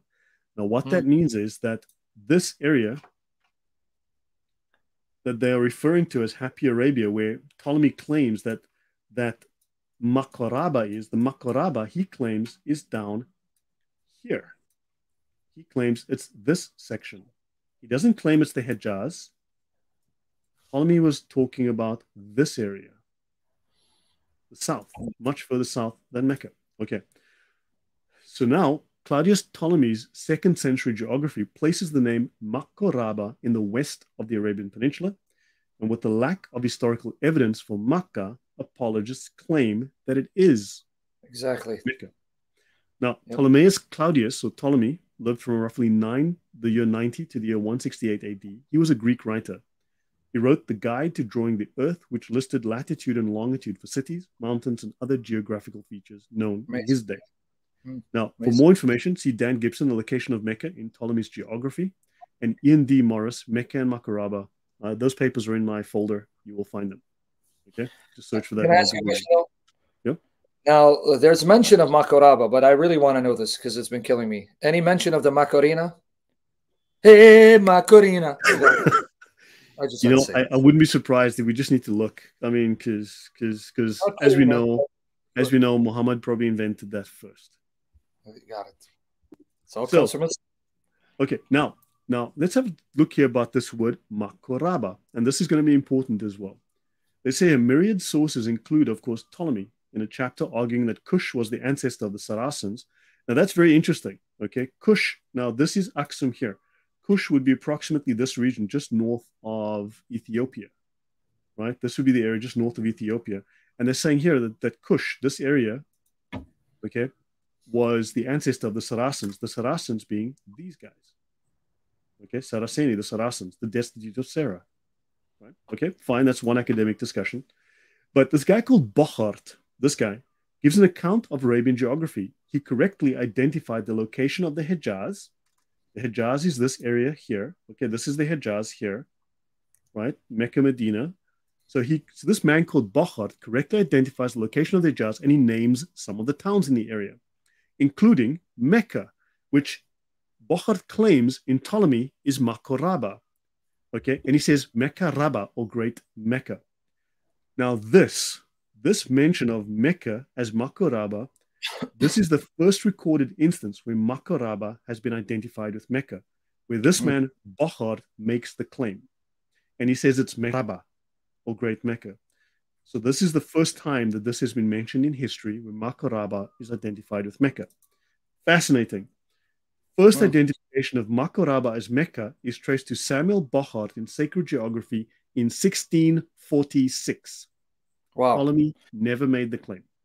So this man in the 17th century AD, 1646, he's the one who tried to connect Makoraba with Mecca. So then that means we're going to connect Macarena with Medina. See Macarena, Medina. So there's your connection. Go ahead, sir. Yeah. So no satisfactory derivation has been proposed to explain the difference between the two names. It, it doesn't mix, they don't match. The word is based on the southern Semitic root Muqarrib, M-K-R-B. Hold on. You might remember early in the first episode, we discussed the Muqarribs who come from here. The Muqarribs, okay? And we're going to be talking about those again, quite from Yemen, meaning temple, sanctuary, but also altar. And these guys, the temples that they had were, were those of the moon god Sin. Now, Bochart used the root Makat Rabah for Great Mecca. However, this is incorrect for the Arabic language. These are not the right roots for Arabic. So he made a mistake. And Muslims and everyone else have pounced on this mistake as evidence. This is not a second century claim. This is a 1646 claim and a mistake on top of it, yep. with no evidence to back it up. So now this is Dictionary of Arabic and Allied Loanwords. Okay, apparently an abridgment of Sarasin Muqarrib sanctuary from the Ge'ez Muqarrab or Mikrab, the, Ge, the Ge'ez Mikrab, to judge from the Latin form of Makoraba. So what, what we have is the term Mikrab, okay, Muqarrib, Muqarrib is just, and so Makoraba is just a Latinization of Muqarrib, the Yemeni Muqarrib, okay, in Claudio Ptolomeo. Okay, so we've got that from this particular source here, amongst others. So Makoraba, the Karib, to Al Mahabisha, Yemen. Now, adjusting Ptolemy's coordinates will correctly place the towns and rivers in South Arabia on a modern map. However, towns previously cited as locations of Makkah are all now discovered to be located elsewhere. Hmm. Here, Ptolemy's original locations overlaid on a modern map, and Mecca and Makoraba are marked in red. Okay, so this is Mecca here. This is modern Mecca. This is Makoraba. Hmm. Okay, Ptolemy's. He, this was all far off. Notice that some of these towns are in the ocean. This is when you adjust Ptolemy's coordinate system to modern coordinates to match them. Notice all of these things go all over the place. They spread out north and south, move randomly around sometimes, and many of them end up in the ocean.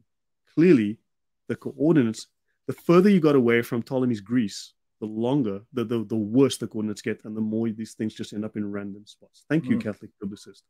Appreciate it. Yeah. So, okay. So now, of course, we can see that if these are in the ocean, then everything is wrong. Nothing here can be relied upon. Let's continue. Now, we all know there are no Meccan archaeological artifacts until the 8th century AD or later. Right? The first mention of Makkah is the Byzantine Arab Chronicle in 741 AD, placing Makkah in Mesopotamia. Oh, wow. Mm.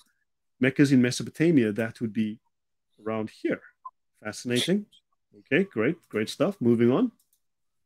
The first time Mecca is listed on a map of the Middle East is apparently 900 AD, not the second century. Mecca, the mother of cities, according to Quran 692 and 427, did not exist in the early 7th century. I think that is very clear. We, we've known this for a long time now. Makoraba, however, is located 720 kilometers south of Makkah because we know where Makoraba is. We have been able to establish where Makoraba is. This is Makoraba. It is here at Al Mahabisha mm.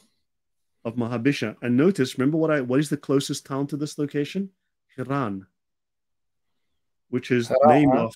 which shares the name with Haran in Turkey. I see. Hmm. this is 720 kilometers south of Mecca. Now, notice, doesn't the Quran and don't the Islamic sources speak of how lush and mountainous and green Mecca was with all the fruits and the dates? Well, here's the landscape at Al Mahabisha. So that fits the description of the Quran, not Mecca. Correct. Now, scholars have long said, like even Gibson has long said, well, you know, I think it's Petra. I've been to Petra. I spent a couple of days in Petra. Like I spent two and a half days in Petra.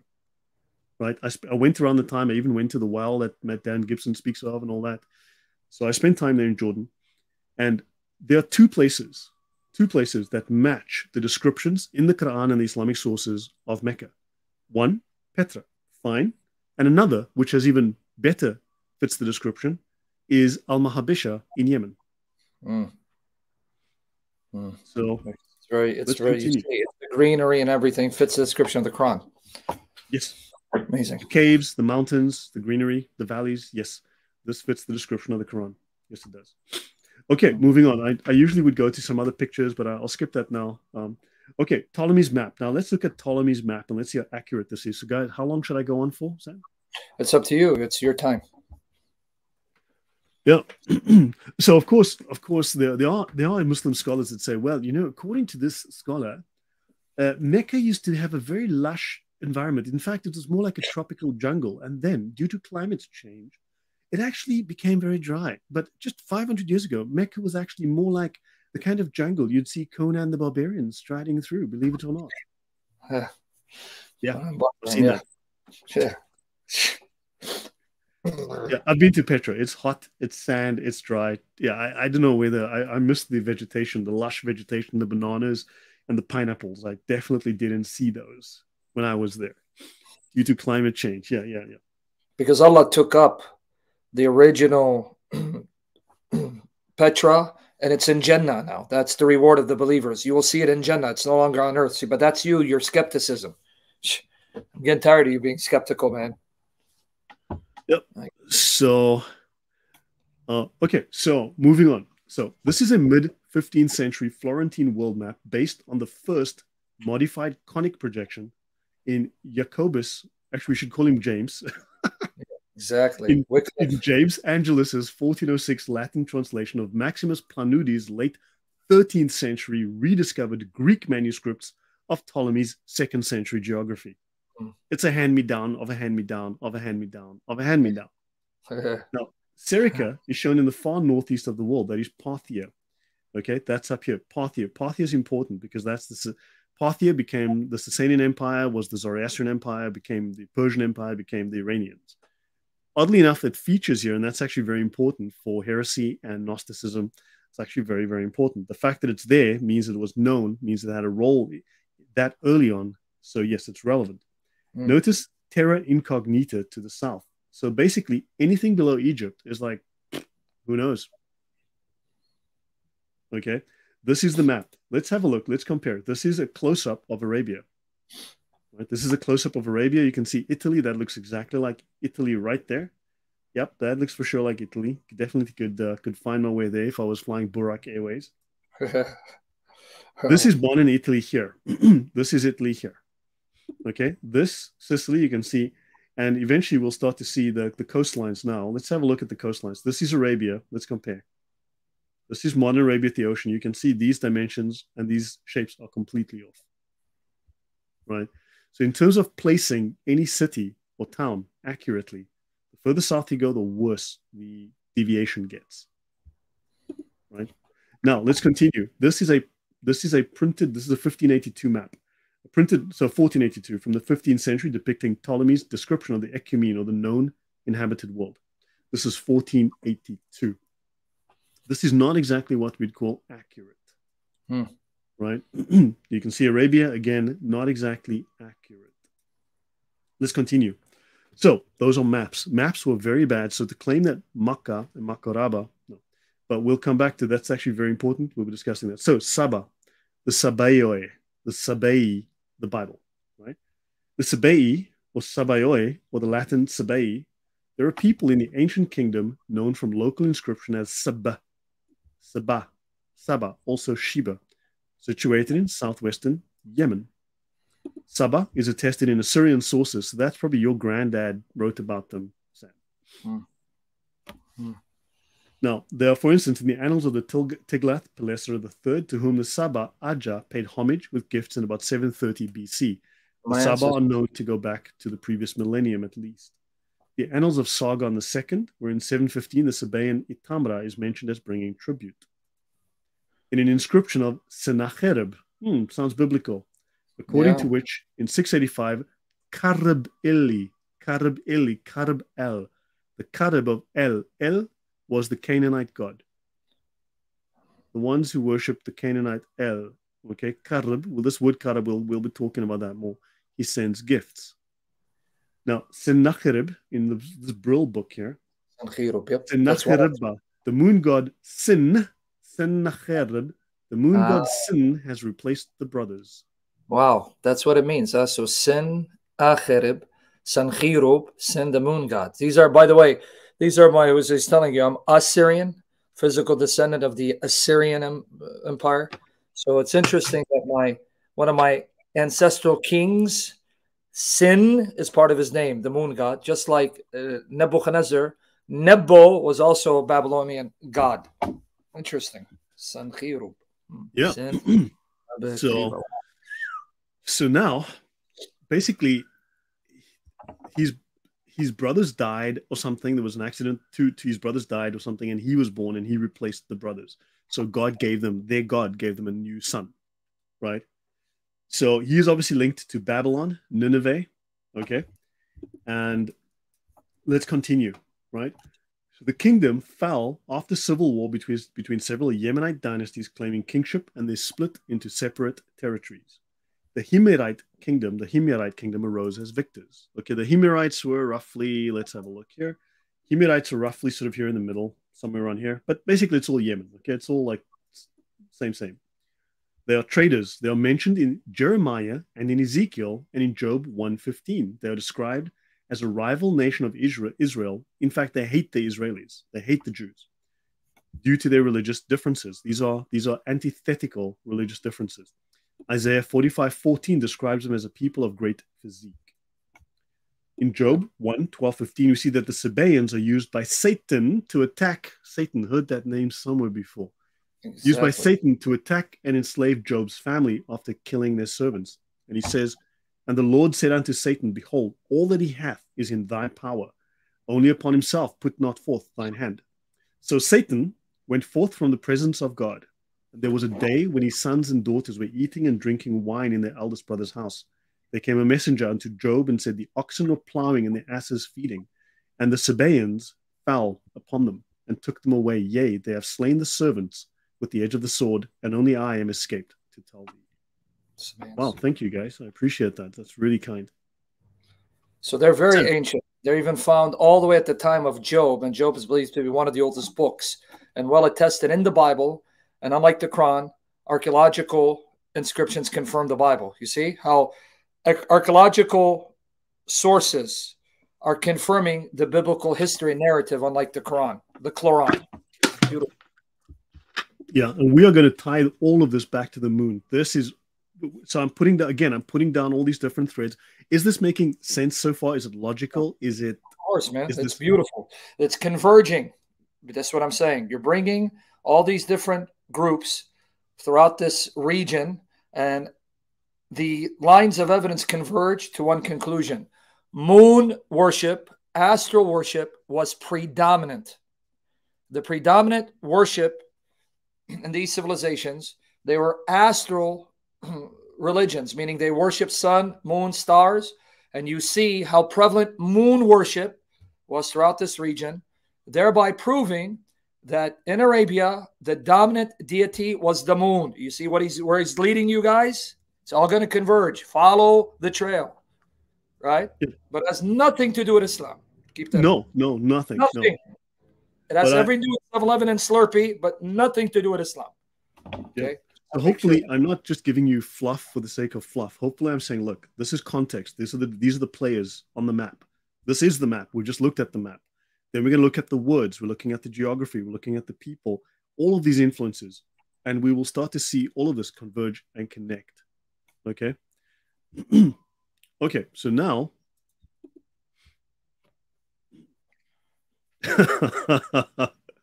Excellent. Thank you, Otto Christos. Okay, so now these Sabaeans are enemies of God.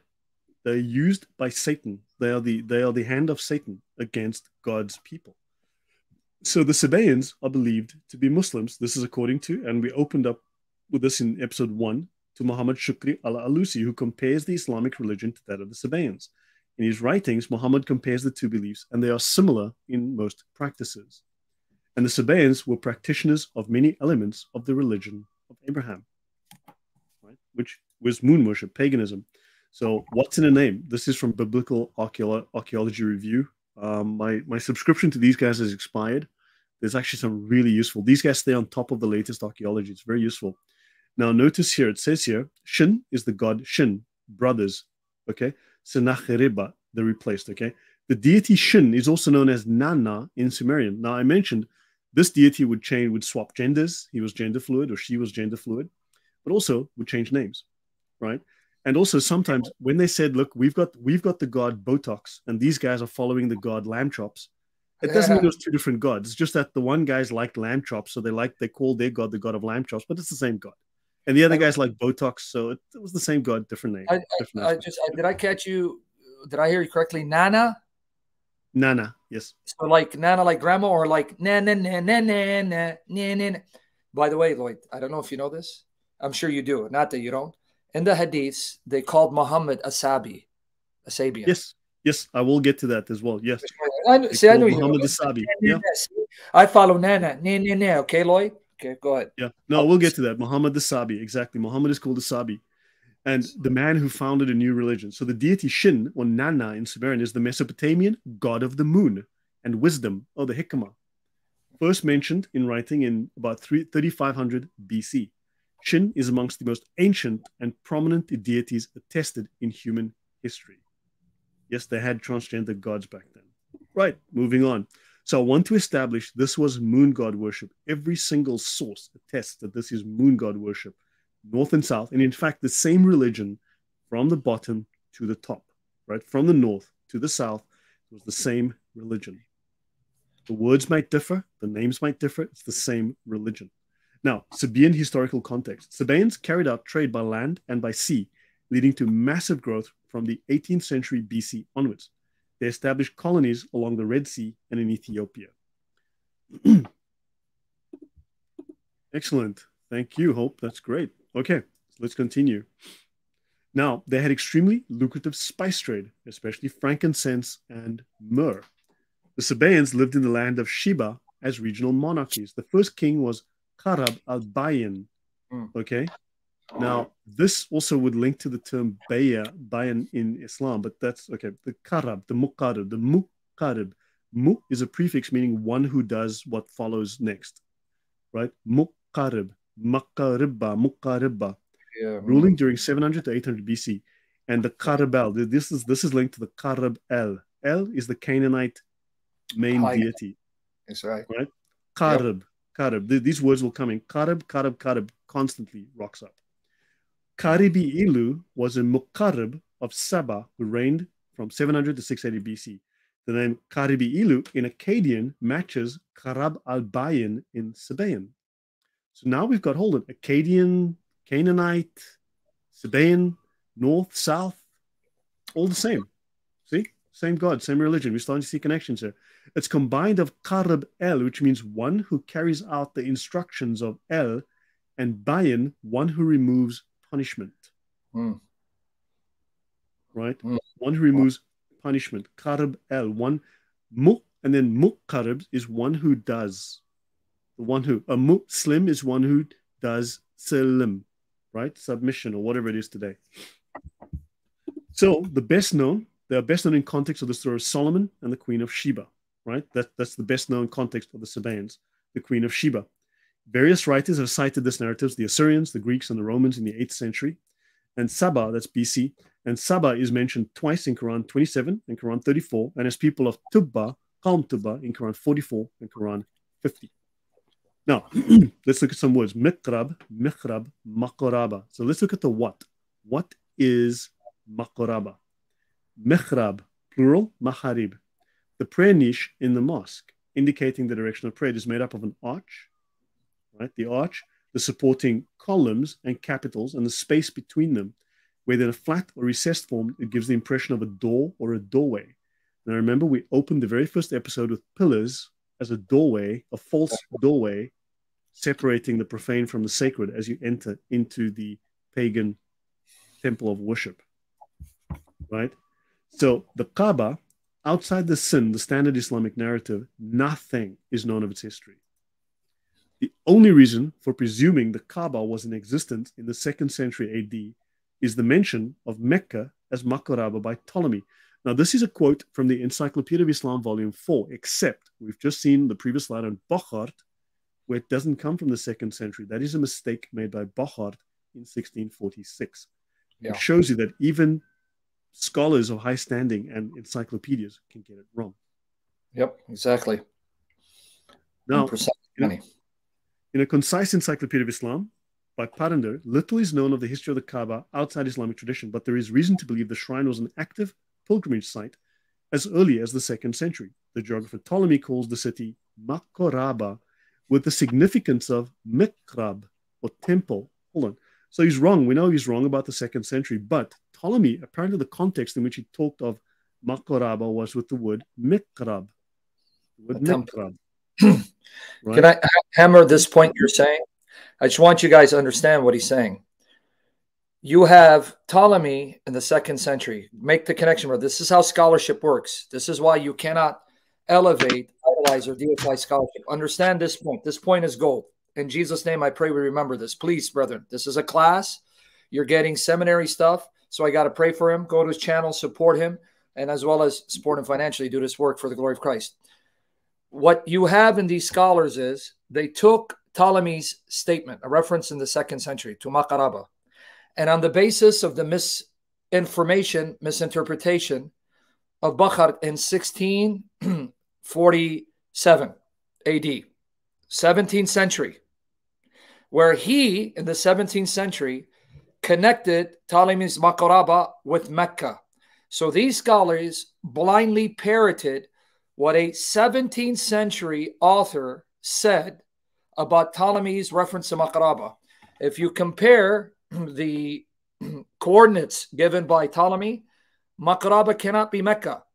So why do they keep identifying Mecca? Because of this seventh, 17th century, 1646, 1647 reference, where this author, Bochart, said that this means Mecca, and all the scholars parroted that mistake. This is how scholarship works. They take a statement, one scholar, and they keep parroting it until some uh, someone else comes and then challenges it and then changes the view of scholarship. So I just want them to understand that point. So Makuraba has the significance of mikrab, temple, mikrab. And we've now noticed that the Muqarribs, Makuraba, we know it's the Latinization. Makuraba is the Latinization of Muqarrib. Muqarribs are the Sabaeans, the worshippers of the moon god Sin. Right? So now we're starting to connect, and this is how weak academia, academia is exactly. So Mecca is known to the ancient geographers as Makoraba and to the Arabs as Makkah. Okay. The name Makoraba means temple in various Semitic languages. This is this probably referred to the Kaaba. Okay, according to various sources. I mean, so this probably refers to the Kaaba. we know it means temple in various Semitic languages. So a scholar called Glaser believes this name may have signified the same as South Arabian or Ethiopian mikrab or temple so we knew that the Ethiopians of the time were worshippers of the moon god Sin. They worshipped the same religion as the Yemenis, right? The, the Muqaribs, Maqaraba Muqaribs. Now, in modern Islamic usage, mihrab means prayer niche. So here are the columns, and we've mentioned these fake columns, okay, in front of the um, the the Al-Aqsa Mosque. We showed that, and this was identified with pagan worship. Alexa, Stop. For some reason, Alexa started talking to me. Okay, notice the propylon at the faux entrance. This is a common feature of mihrabs. Okay, so we've got similar symbolism to what we showed with the worshippers of sin. Okay, so let's look at Abraha in Mecca. So aside from Muslim traditions, practically nothing is known of the history of the Kaaba, right? So they've mentioned Mecca and the Makaraba. Okay, we know that. Now, the account of the campaign of Abraha, which have been elaborated with legendary features. So we know Abraha was a real individual. He left from yes. Ethiopia, went across, okay, with his army, and we know he's real. He was a Christian, so which have been elaborated with legendary features. They've obviously added myth, you know, and legend to it. Also suggests the existence and worship of the Kaaba in the sixth century, but it tells us nothing of its appearance or its equipment. So there must have been a Kaaba. This doesn't mean it was the one in Mecca. We know that we can identify Maqaraba and the temples with with Yemen, right? We we know we can identify major temples here. Okay, notice here is Baraqish. Barak Ish. We just mentioned the Burak, Baraqish, which is just like what's in Mecca. Remember, there was the reference to this is just like what's in Mecca today. We know that there were major temples to Sin here, and there was a major temple here at Haran, Al Mahabisha, right? So now we know that Makoraba is here. This is the location of Makoraba. And so we know that there was a Kaaba. We know that he attacked supposedly a Kaaba, but clearly not the one in Arabia today. Mm. Okay, let's continue. Abraha is also spelled Abreha, 6th century AD, Ethiopian Christian viceroy of Saba, Yemen, in southern Arabia. He was a zealous Christian himself. He's said to have built a great church at Sana'a, okay, Al Kules, from the Greek ecclesia, to compete with the Kaaba at Mecca. We also know there was nothing at Mecca back in the day, but we know that the big temple apparently could well have been here, mm. Makoraba. Okay, there was some large temples here. We've got Barak Ishia, Barak, the Burak Airways. The airport was here for Burak Airways. Now, he repaired the principal irrigation dam at the Sabaean capital of Ma'rib. Abraha is famous, however, for the military expedition that he led northward against the city of Mecca in a, supposedly the same year as Muhammad's birth, about 570. It was supported by elephants, apparently, but the expedition failed, and the Muslims believe that Mecca escaped capture only through a miracle. Abraha's rule ended in 575 when the Persian Sasanians invaded the region and brought the Sabaean kingdom to an end.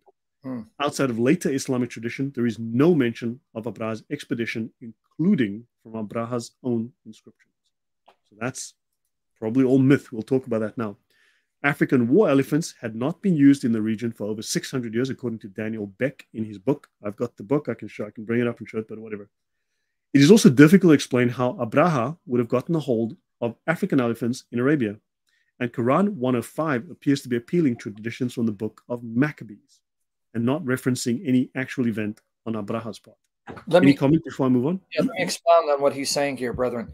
Brethren, uh, let me explain what he's trying to tell you. So, because again, you have to be familiar with Islam. Many of you are, many of you may not know. In chapter 105 of the Quran, according to the commentators, this talks about Abraha, who's an actual historical figure, a king who was a devoted Christian, who actually worshiped the triune God. According to Islamic tradition, interpreting Surah 105. Pay attention to what he's trying to tell you. Because, see, I, I understand the background of Islam because I've been doing it for 20 years. Some of you may not know what he's talking about. According to the Muslim exposition of chapter 105 of the Quran, Abraham traveled to Mecca to destroy and demolish the Kaaba. Why? Because the tradition says one of the pagans went to the church he built and pretty much dishonored it by defecating in it. So when Abraham Abraham found out, he supposedly took elephants. This is the story in one, chapter 105, elaborated in Muslim tradition. And then supposedly some birds came and pelted them with stones. So Allah miraculously intervened by causing birds to pelt Abraham and his army with elephants with stones. And then he wasn't able to demolish the Kaaba. But you hear what he just said? There were no elephants in use for, you said, 600 years, right? Apparently so, yeah. Okay. Did you hear what he's saying? In that region, they didn't have elephants. That region had no war elephants for 600 years. So, where in the world did the Muslim sources get that Abraha, Abraha brought war elephants? And then on top of that, how much gallons of water would they need to have elephants traversing desert to get to the Kaaba to demolish it. So this is nonsense, baloney, bullshit from the pit of hell. Just wanted to clarify that. Go ahead, brother. I'm just trying to find the book by Beck. I've got it somewhere. Okay, so moving on. Let's continue. Right now, Al Bedawi. It is reported that the Battle of the Elephant. Now, now here's the story from the Muslim side. A strong elephant named Mahmud. So this Christian, this Christian, this very devout Ethiopian Christian, had an elephant named Mahmud. The lead elephant of the elephants of war that he took was called Mahmud. Uh, Mahmud is a diminutive of Bill is a diminutive of the name William. Yeah, uh, uh, it's uh, the of Tony, Tony, right? Uh, ja- Muhammad. Mahmud is a, the elephant. Is are you say, Sam? Was the elephant called Muhammad? Last time I checked, Mahmud has no connection with Tony, but Mahmud, Ahmed, Muhammad, they all come from the same root. Mahmud, Muhammad, Ahmed. So there was an elephant named Muhammad. So Muhammad was the elephant of Allah. Yes. Nothing to do with Islam. Allah works in mysterious ways, Sam. Allah works in mysterious ways. So, so Abraha had an elephant named Mahmud and another she elephant. There were two elephants. However, you know, when it mobilized his army, the elephant arrived, and whenever they pointed Mahmud towards Mecca, the elephant Mahmud would kneel down and just stay there. When they pointed the elephant Mahmud away from Mecca, away from the Muhammad, the baby, the child in the cradle in Mecca, the elephant would be happy to go. But when they pointed Mahmud at Mecca, the elephant would just kneel down and stop. Hmm. So I already anticipated you were going to say this. I forgot. I'm sorry for intervening because you mentioned the story. Now, one thing I need clarification. The elephant's name was Mahmud, and there was a she elephant? Yeah. Now, by any chance, was that she elephant name Khadija? Because if it's I have Khadija, no idea, actually. I need to check, actually. because Khadija sounds like Khadija. Maybe Mahmud and Khadija, the male and female elephants, are the precursor to Muhammad and Khadija. Nothing Who knows? Who, I don't know. This, let's just. Okay, so now we go to Kurtubi. Okay, so Kurtubi's comment on this is representative in presenting sources that equate the year of the elephant with that of Muhammad's birth. So Kurtubi is representative of all the Muslim sources that equate the year of the elephant with that of Muhammad's birth, as well as those that place Abraha's attack 23 or 40 years earlier. Oh, that's interesting. So Naldecker, Lammens, and Blachère pointed out the inconsistencies within the early Arabic sources and the contradictions between them. Because according to the Muslim sources, the attack by Abraha could have happened 23 years or as many as 40 years before 570. Hmm. That puts it at 530, as early as 530. That's 40 years before the Arabic, the standard Islamic narrative. So you're saying, so people get it, that according to the Muslim sources, when Abraha attacked Mecca, that was the year Muhammad was born? Yes. Or then- it could have been as much as 23 years before. Or 40 That's so that's what I'm saying. So if the Muslim sources are right, Muhammad was born at the time of Abraha's attack, and yet the extra Quranic sources confirm that the attack took place way earlier. That means even the alleged birth date of Muhammad is wrong. Yes, by as much as 40 years, according to this chronology. As much as 40 So years. may- he may have been born 530. So that means we cannot trust the Muslim chronology because it sucks. It's from the pit of hell, but nothing to do with Islam. Nope, nope. Remember that. Okay. So hopefully I am proving, hopefully to the audience. I mean, one, I hope I'm being logical, sensible, rational, detailed, and I'm presenting strong evidence. I'm, I'm showing things that are relevant. And hopefully you are convinced and I've proved that this has nothing to do with Islam. Because by the end of this, we, we want to prove definitively, beyond doubt, that this has nothing to do with Islam. Okay. So let's continue. According to some of the histories, when the people of Mecca had fled the city, seeing the approach of Abraha's army, the lead elephant, named Mahmud, stopped and kneeled down, refusing to go further. The rest of the elephants, the rest of the elephants, hold on, I thought there were two, but okay, would not go on without the leader, and so the whole formation came to a halt. Mahmud, the elephant, was beaten and cajoled, but would not take one more step towards Mecca. Uh, what is this about beating animals? Gabriel Jibril hit Burak in the face, and now they're beating these elephants. What's up with this? This animal abuse, dude. Darn it, man. This is you don't understand the beauty of Islam, Sam. The beauty Yeah, of. Islam. I'll never understand. You know, so Al Waqidi gives a tradition that there were 13 elephants with the army. And that's an unlucky number, right? If they had 12 elephants, would have been fine. Yeah, 13. That's right. And, and remember, this is at a time where for 600 years, there's no evidence of any elephants in that area. So you have 13 mythical elephants that came down from paradise, from Jannah, where Burak lives, in an area that had no elephants for about 600 years. So you don't get you know, it. These you know, you know where you do find paradise. elephants, Sam? You know where you do find elephants? In a circus. Yeah, exactly. Clearly we- yeah. So He's a real clown. So besides, so there were 13 elephants, besides the famous one called Mahmud. And the latter was the only one that escaped death from the shower of stones. But this would seem to oppose the tradition generally on the subject. Waqidi adds that Abraha sent to Abyssinia for the famous elephant Mahmud specifically to join his expedition. Abraha specially told the Ethiopians, Bring me the elephant called Mahmud. Now, why would a Christian send to a Christian nation for an elephant with the name Muhammad? Exactly.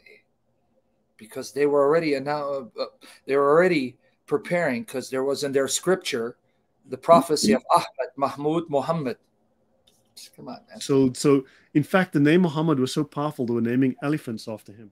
That's that's because they knew if you have an elephant named after the prophet to come, you are unbeatable. What's wrong with you, Lloyd? Drink more Slurpees. So the lead elephant was a white elephant, a white elephant, a white elephant, not just any elephant, a white elephant known as Mahmud. And here's the translate. Here's the uh, what do you call the transliteration? Mahmud here. And this is said to have stopped at the boundary around Mecca, and that elephant refused to enter. As you go, it's source of a white elephant. Okay, very special elephant. Fine, fine. Archaeological discoveries in South Arabia suggest that the year of the elephant may have been 569 or 568, as the Sasanian Empire overthrew the Aksumite Yemenis in 570. Now, according to Muhammad Asad, the surah of the, you know, the birds that came with the stones, he says it does not describe birds literally carrying small rocks. He references al Zamakhshari and Fakhr al Din al Razi, who states the words used, namely the stones of Sijil, Yes, right, denote a writing, something that has been decreed by Allah, a writing, a decree. He explains that this decree by Allah was a very sudden epidemic outbreak, which, according to Ibn Ishaq, called fever, called haspa, and smallpox, called judari. The stones was the smallpox pimples. Asad concludes this points to the fact that the stone hard blows of chastisement preordained were a very sudden, virulent epidemic due to the fact that the word for fever, haspa, primarily means pelting or smiting with stones in the Arabic dictionary Al Qamus Al Muhit by Feiruz Abadi. The word ta'ir can denote any flying creature, whether bird or insect, but they got COVID basically. Precisely. Now, people don't know who Muhammad Asad was. He was a Jewish convert to Islam who wrote one of the most influential Quranic translations called The Message of the Quran. I recommend all of you students of Islam get his Quran. You can actually read his Quran and commentary on alim.org. He was a rationalist Jewish convert to Islam who tried to explain away most of the miraculous statements of the Quran. So he's trying to give you a rational explanation. It wasn't birds that pelted them with stones. It's actually that Allah decreed that they would get smallpox and get sick. And because of that smallpox, they couldn't fight. They had to retreat. So he had to rationalize the statement and explain it away because he was embarrassed, obviously, by what the Quran had to teach. Yep. So these stories are all legitimately from the Islamic sources. And I mean, so they pick one and they hope that we don't notice that there's a bunch of others. Right. In Shia Hadith, Al Kafi Volume 1, Imam Ali was born in the 30th year of the elephant and died in after Hijrah 40. Some scholars have placed the year of the elephant one or two decades earlier than 570. This is tradition attributed to Ibn Shihab al Zuhri in the works of Abdul Razak al San'ani, placing it before the birth of Muhammad's father. So the year of the elephant, according to Islamic sources, could well have been before the birth of Muhammad's father. Even Sunni sources place it 40 years prior to the birth of Muhammad, Hmm. which would also be before the birth of Muhammad's father. confused. They're all over the map, huh? Yes. Amazing. This is a religion. So, By the way, a side note, uh, Lloyd, according to Muhammad, black dogs, dogs that are black, are evil. They're demons. They need to be killed. And Muhammad saw a dream of a black woman, and he took that as a sign of epidemic breaking out. and he saw a skinny Ethiopian black guy with skinny legs, skinny legs, destroying the Kaaba. And now here you say Mahmud was white, and no wonder because being a white elephant, not a black one, he refused to attack the Kaaba because you see, everything good is associated with white. So you are not white, and I'm not white. We must be evil. Make that connection, Lloyd. Nothing to do with Islam or racism. Keep going. Yeah. Okay. So I'll do two more slides, and I think we'll call it because it's a logical place to break it. So I'm I'm I've covered a, a few topics, and I'm throwing some things into the mix which may or may not seem connected right now, but hopefully you guys will revise this, go back over that. There will be a test. Okay. So, um, and if you guys don't get more than 75% of the test, I won't do part five. Yeah. So, you know, after the next one, there'll be a punishment. test. And be careful because the same birds may start pelting you with smallpox from Jannah. So you better be careful, you guys. Go ahead, Alex, yeah. friend. So, so basically, so I'm throwing things together, and some of them may seem disconnected, but if you guys, hopefully, you'll watch the previous episodes, and hopefully, you'll start to realize that these things do connect. I'm actually I might not do it immediately, but I do connect them. I'm putting pieces on the board, and they do connect eventually. So, so war elephants. Just as Muslims ascribed religious sensitivity to the elephants that refused to attack Mecca, so the Christians ascribed piety to some elephants visiting Constantinople. John of Ephesus wrote that the elephants raised their trunks and signed the cross. The elephants signed the cross whenever they passed a Christian church to thank God for helping them in battles. You must wonder if the Mahouts taught the elephants some Christian sensibilities for the visit to Byzantium. So yeah, it's possible that maybe they got that story from the Christians. Mm, interesting. So the elephants actually stood up and did the sign of the cross. Very interesting. That's hey, what elephants do. Yeah, man. Like yeah. Buraq flies. You know, he likes to fly from uh, Canaan to Mecca. That's his favorite traveling spots when he's vacationing. So yeah, it's possible. Yeah. So I'll call it after this slide, and then maybe we can just you can give me your feedback and thoughts, and uh, if there's any questions from the audience. But um, so the word haram among the Bedouin it's a sacred area around the shrine, a place where holy power manifests. Now, okay, fine and all. I mean, maybe or maybe it's not tied to idolatry in that the god is manifested into the location, right? You localize the god to a given location. Okay, and the sacred territory of Mecca is called the Haram. Now, Al Haramain are the two holy places, usually Mecca and Medina, but few people realize that in Islam, Al Haramain are also Jerusalem and Hebron. Because there's one scholar, I, you know, if I don't take the note, if I don't write down the reference or copy the file or add it to my library, then I forget. It happens on occasion, which annoys me. But there's a there's a book I was reading where this one scholar was saying, well, one of the names of Mecca is Jerusalem, or one of the names of Jerusalem is Mecca. Hmm. So they were, they, they were trying to make a link between Mecca, but they claim ownership of Abraham and Jerusalem and Hebron, the two places which link to Abraham as well. Hmm. Okay. Mm. Oh, sorry, what was that last comment? Did I miss anything? Um, he was saying Momo certainly didn't oh. think this level scrutiny would ever take place. Yeah, he didn't know that this is what's going to come and destroy him and his credibility. Yeah, when you start looking into magic in Islam, you start looking into. Remember, we mentioned Samia before. That word Samia, yeah. letter magic. You start looking into that, man. It, good grief, Islam just starts to look weird. It's crazy. So in Surah 4, 125, in which Abraham is described as Hanif, it is stated that in addition, that God took Abraham as a friend, a Khalil, Hence the later designation of Hebron, the alleged burial place of Abraham, as Al Khalil. Yep. Okay. In his dissertation, blah blah blah, Het Makan Feest, okay, Meccan festivals, or okay. It was not until the Hijrah, right? So, okay, Snouck Hurgronje brought together and interpreted all of these facts, which are documented in the Quran, in a synthesis which traces their historical development. Okay he concluded that it was not until after the Hijrah that Muhammad on the occasion of his controversy with the Jews, where the Jews told him to get lost, pronounced the Old Testament patriarch Abraham a Hanif and the first Muslim, and maintained that he, together with Ishmael, the ancestor of the Arabs, built the Kaaba. It is only after the Jews told Muhammad that he was talking poop that he said, Hold on, wait, wait, wait. Abraham was the very first Muslim. I'm the first Muslim. My wife was the first Muslim. Adam was the first Muslim. Yeah. But Abraham so, was the first Muslim, and he built the Kaaba, except he rebuilt it because Adam built it, but it wasn't there when when Hagar got there. So Abraham built it, and he built it with whatever. Yeah. So and so Islam was able to claim to be the religion of pure monotheism, already propagated by Abraham, and this claim gave it priority over both Judaism and Christianity. So priority over Moses and Jesus by claiming to be at the root of the of the the Yahwist movement. Now I want to know something as you're going to your final slide. I didn't know you're Christian Prince. CP means Christian Prince. So is he talking about me? Because I'm not Christian Prince. So are I'm you Christian? Christian Prince? Are you sure about that? Because he said, "Nice seeing you, CP Christian Prince." So this guy thinks either I'm Christian Prince or you're Christian Prince because I'm not him. And I'll be shocked. All this time, I didn't know you're Christian Prince. So, Lloyd, you got two identities, huh? Nothing to do with Islam, but go ahead.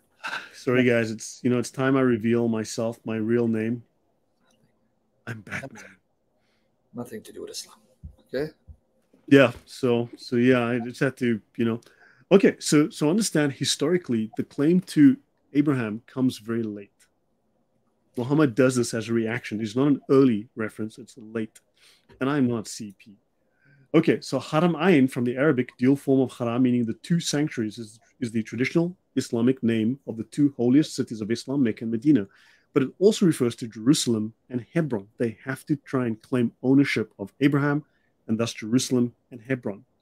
And Haram, okay, adjective plural, Ahram or Ahramat, originally meant pyramid, preeminently the pyramid of Cheops and Chephren. Wow. So that's what originally meant. The word ahram, ahramat was the word they used for a pyramid. Wow, so that's interesting. All wow. of this ties back to Egypt. Ultimately, all of this ties back to Hermeticism. So Hermes Trismegistus, the whole pagan god story. That's a long story for another day. Laughably funny story, uh, interesting but stupid. And Madame Blavatsky and people of that type. So yeah, I think what I'll do is I'll pause here. I think it's good. I've gone two hours and 15 minutes. Yes. And so I will from now on. Yeah, from now on, guys, we will do Thursday. I was just assuming he'd send me a thumbnail, but God willing, it will be Thursdays. I'll just use the same thumbnail. Thursdays at the same time because that's most convenient for him. Sorry for my slip up because I was waiting for him to I thought today was good. It's relaxed. It's Friday. There's no rush, you know, so it's That's no today. So Thursdays, God willing, we'll try to keep it every Thursday at the same time until you finish the series and do all the series, if God wills, unless something happens and I can't be around Thursday. But I want you to hear the last quote that he he gave you. Did you hear? Because this is something you have to remember. The claim that Abraham and Ishmael built the Kaaba was a claim that Muhammad made only after he migrated to Medina. I want you to keep this point in mind. So, according to the chronology of the Quran, based on later Muslim sources, the scholars are looking at these surahs that are supposedly in Mecca, and then the surahs composed in Medina, and they're seeing, hmm, in Mecca, there's hardly any connection between Abraham, Ishmael, and Muhammad. It's only after he migrates to Medina that you start seeing these references to Abraham and Ishmael and other characters. And so the scholars take that as proof that it's only after Muhammad interacts with the Jews in Medina, because according to Muslim sources, Medina was a hotbed of Jewish activity. There were many Jewish tribes. And as he's interacting with the Jews, that's when the Quran starts trying to connect Muhammad and Islam with Abraham and Ishmael. So pay attention to that. So if we go with the traditional narrative of Islam, then Abraham and Ishmael start popping up as having some connection with Islam in the Medinan period when Muhammad settled there and interacted with Jews to legitimize his claim and his religion as going back to Abraham. And now, guys, click on those links. I'll try to put them in the description box. This is all Lloyd's material. I already have the link to his YouTube channel. Subscribe, support him prayerfully and financially, and make sure you're going to his channel because he's got a lot more information there. Already sessions where he's gone in depth on these topics. So we're playing catch up to what he has already done in detail on his YouTube channel. So, brother, any final comments on your part?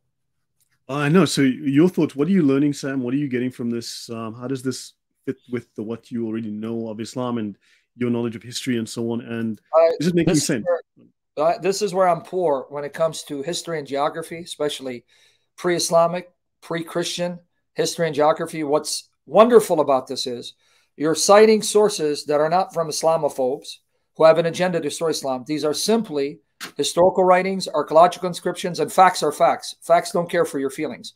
And you're showing how widespread, how dominant moon worship was in Mesopotamia, in Arabia, in those regions, in the Levant. Moon worship was widespread and dominant. And as we now start slowly bringing these lines together as they converge, it will now prove beyond any reasonable doubt that the Allah of the pagan Arabs was indeed the moon god, thereby confirming and vindicating, as I said previously, the claims of the late Dr. Robert Morey, who's not around to see this research. So this is amazing. So when Morey made popular the view that Allah of pre-Islamic Arabia was the moon god, he stands vindicated. Glory to Jesus Christ. No. So Islam has nothing to do with the God of Abraham. He has nothing to do with Yahweh. He was a pagan moon deity that Muhammad then took and tried to turn into the God of Abraham. That's where the evidence is pointing to. Right. So and we are going to so on this, so in the next episode, we're going to talk about Hubal. Yeah. Everyone has heard of Baal. So we're going to be talking about Baal and the word Hubal. And Beautiful. then we're also going to be talking about a little bit more about Makoraba. So we, we figured out now where Makoraba is. Hopefully that was was that clear. Uh, do you think I provided sufficient oh, evidence? Especially the claim that it was only in 1646. 1646, 1647, but it's your source says 1646. That in the seventh century, seventh century AD, Bochart took Ptolemy's reference to Makaraba and he connected it to Mecca. In other words, it wasn't Ptolemy Pay attention, brethren. It's important fact because I first heard the claim that Makoraba was Mecca by a website called Islamic Awareness. And then Shabir Ali, in his debate with Jay Smith, used the reference from Islamic Awareness to show that Makaraba was known because Ptolemy references. So, glory to Jesus, you're destroying that lie because this is the one source that the Muslims are often quoting that Ptolemy in the second century AD mentions Mecca, calling it Makaraba. Now we see why the Muslims have been duped into citing it because a man in the 7th century AD, let me make this point clear. Let me hammer this point. 7th century AD, 1646, right? I said around 1646, 1647, but the source says 1646. Mm-hmm. claimed that Ptolemy's Makaraba is Mecca. That's not what Ptolemy claimed. Someone in the 17th century, 1600 years after the birth of our Lord, he made the connection between Makoraba and Mecca. But when you look at the coordinates and compare it to modern map, Makaraba is not Mecca. There is no evidence. You destroy the only line of evidence that Shabir Ali, Islamic awareness, have to prove that Mecca was known. Once you know this, they have no evidence, brothers and sisters. They do mm-hmm. not have anything before the rise of Islam that shows that Mecca was a place that was known. It's impossible to prove that Mecca was known. Thereby, you're destroying Islam by the power of the Lord Jesus Christ. So keep that in mind. So excellent research. Thank you. So now, the next episode, we're going to talk about what is Makaraba. So we talked about where it is. We've located the where. Now we need to decide what is it. Yeah. And we're going to be looking at words like mu, the prefix mu. What is that? What is Muslim? What is this Salim? What is what is makaraba? but also what is Malik? Okay, hold on, what's he saying there? Yeah. Yeah, yep. no, thank you very much, Otto Christos. We will also have to look at Hubal and the word Malik. Well, what is Malik? Right? Where does Malik come from? What does Malik have to do with Muqariba, with Makaraba? What does this have to do with Hubal? Is Hubal Baal? Well, yeah, spoiler, yes.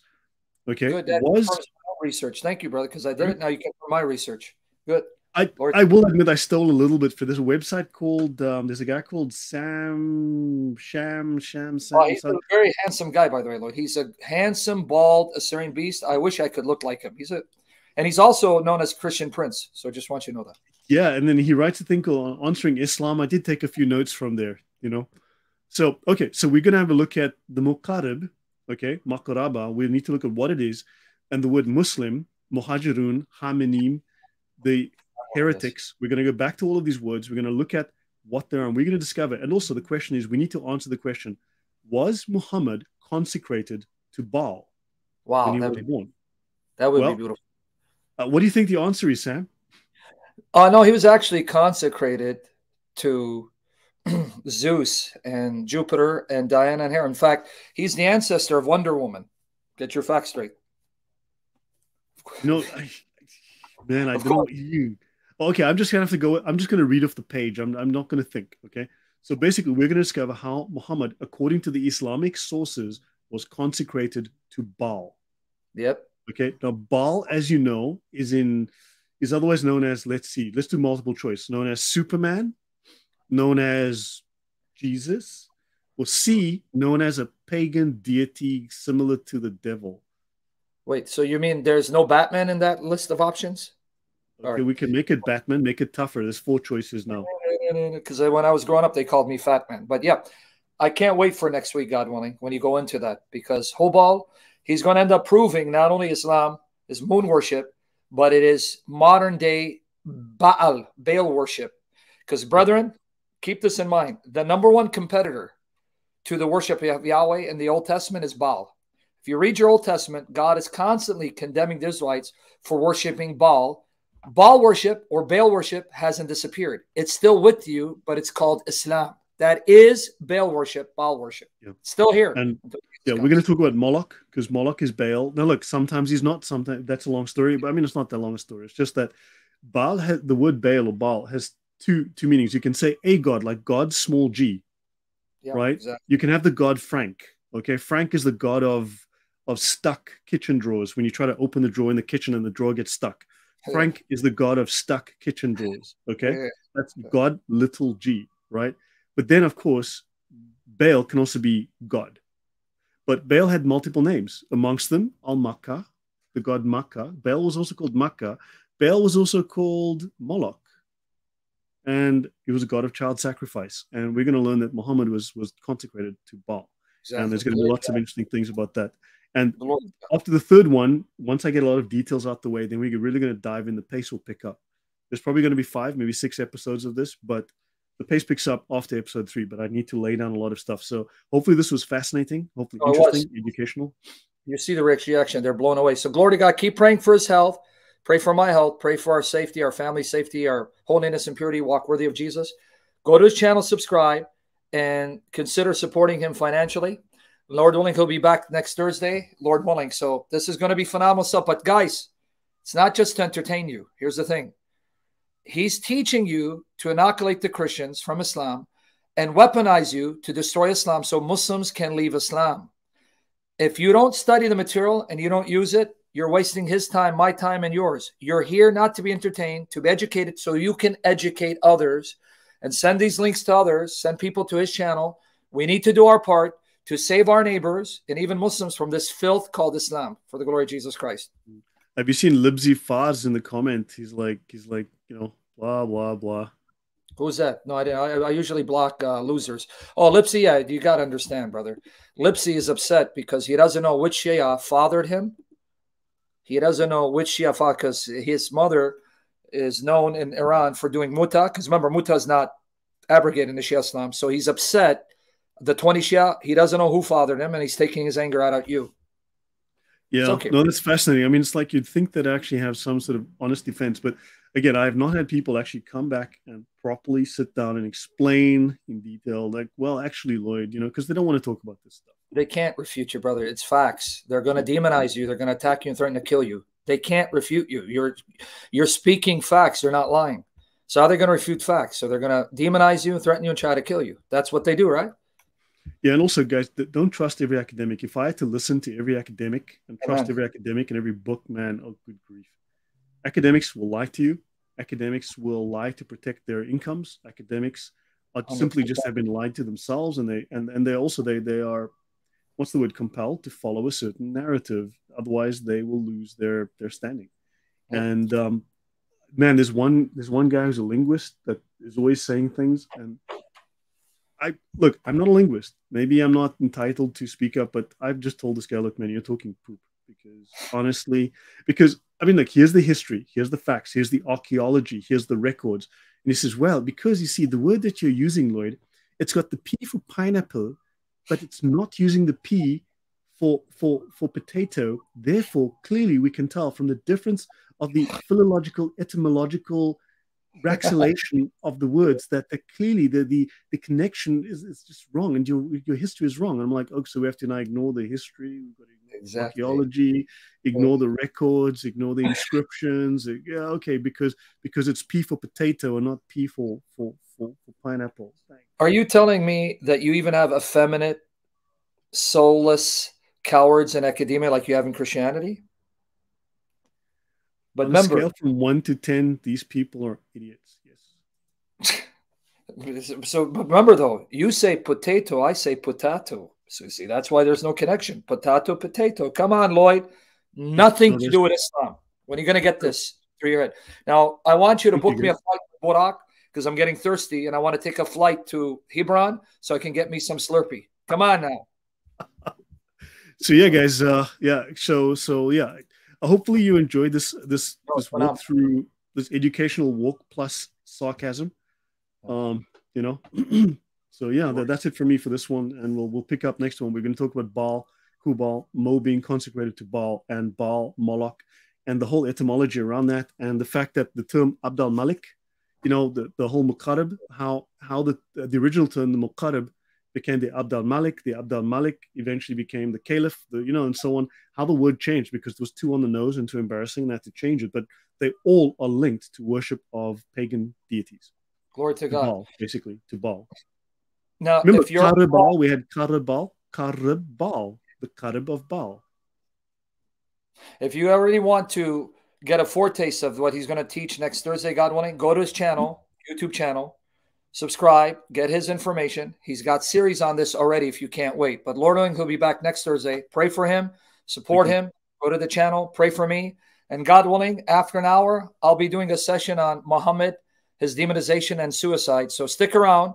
I still got another session I'll be doing after an hour, God willing. So join me for that one. Muhammad, the sources say he thought he was demon possessed and wanted to commit suicide because he's from the pit of hell. May the Lord Jesus destroy Islam, erase Muhammad's memory, save Muslims, strengthen the church to be lions and lionesses for the glory of the Father, Son, Holy Spirit. In Jesus' name. So, any final comments? And we're gone, brother. Someone wants you to to do one last Macarena. Hey, Macarena, Macarena, Macarena, Macarena. Hey, Macarena. Hey, hey, hey, Mac- uh, uh, uh, Macarena. So you have Macoraba and Macarena because Macarena sounds like Medina. Hey, Macarena. Can you do it with me? Come on, Lloyd. Throw down, brother. Macarena, Macarena, Macarena. Hey. Good, good night, sweetheart. It's time to go home. That's the Shana now. Okay. I so. because that's what when he said, "No, no," I was thinking, "Shana na na na na na." I miss the funds, man. I miss the funds. Come on, you and me. One day we're gonna have to get on that dance floor. We're gonna dance, you me, Lloyd. And this is not. This is not exactly. uh You know, this is is is this is this what they call evangelism, brother? This is how the next Bowser generation of academics are going to conduct themselves. I mean, we don't want, Islam is so stupid. You have to laugh at it, guys. Honestly, it is that ridiculous. It is laughable. I, why would I want to take it seriously? I mean, except for the fact that it will kill you. So. But other than that, the scholars they're too sophisticated and articulate, and they put people to sleep. Like the preponderance of the evidence overwhelmingly points to the greater likelihood that it's quite possible that it's moon worship. What do you think, my colleague? See, when people hear that, so you got to make it a little lively, right? So we're, we're going to be the trendsetters. The next generation of academics are going to be throwing down and dancing and singing. No, no, we are going to directly we are going to directly demonstrate from the Islamic sources that Muhammad and Muhammad himself and his wife Khadija, his family, his uncles, his brothers, his nephews, his aunts, his uncles, all of them were moon worshippers. All of them worshipped Baal. That what? the Kaaba was dedicated to the worship of Baal. We're going to brother. I'm confused though. Wait, wait, I'm confused. I was told by a lot of Protestants Khadija was a Catholic nun, and that the Catholic Church started Islam because the Jesuits sent Khadija to Arabia to raise up a man to try to then tame Arabia.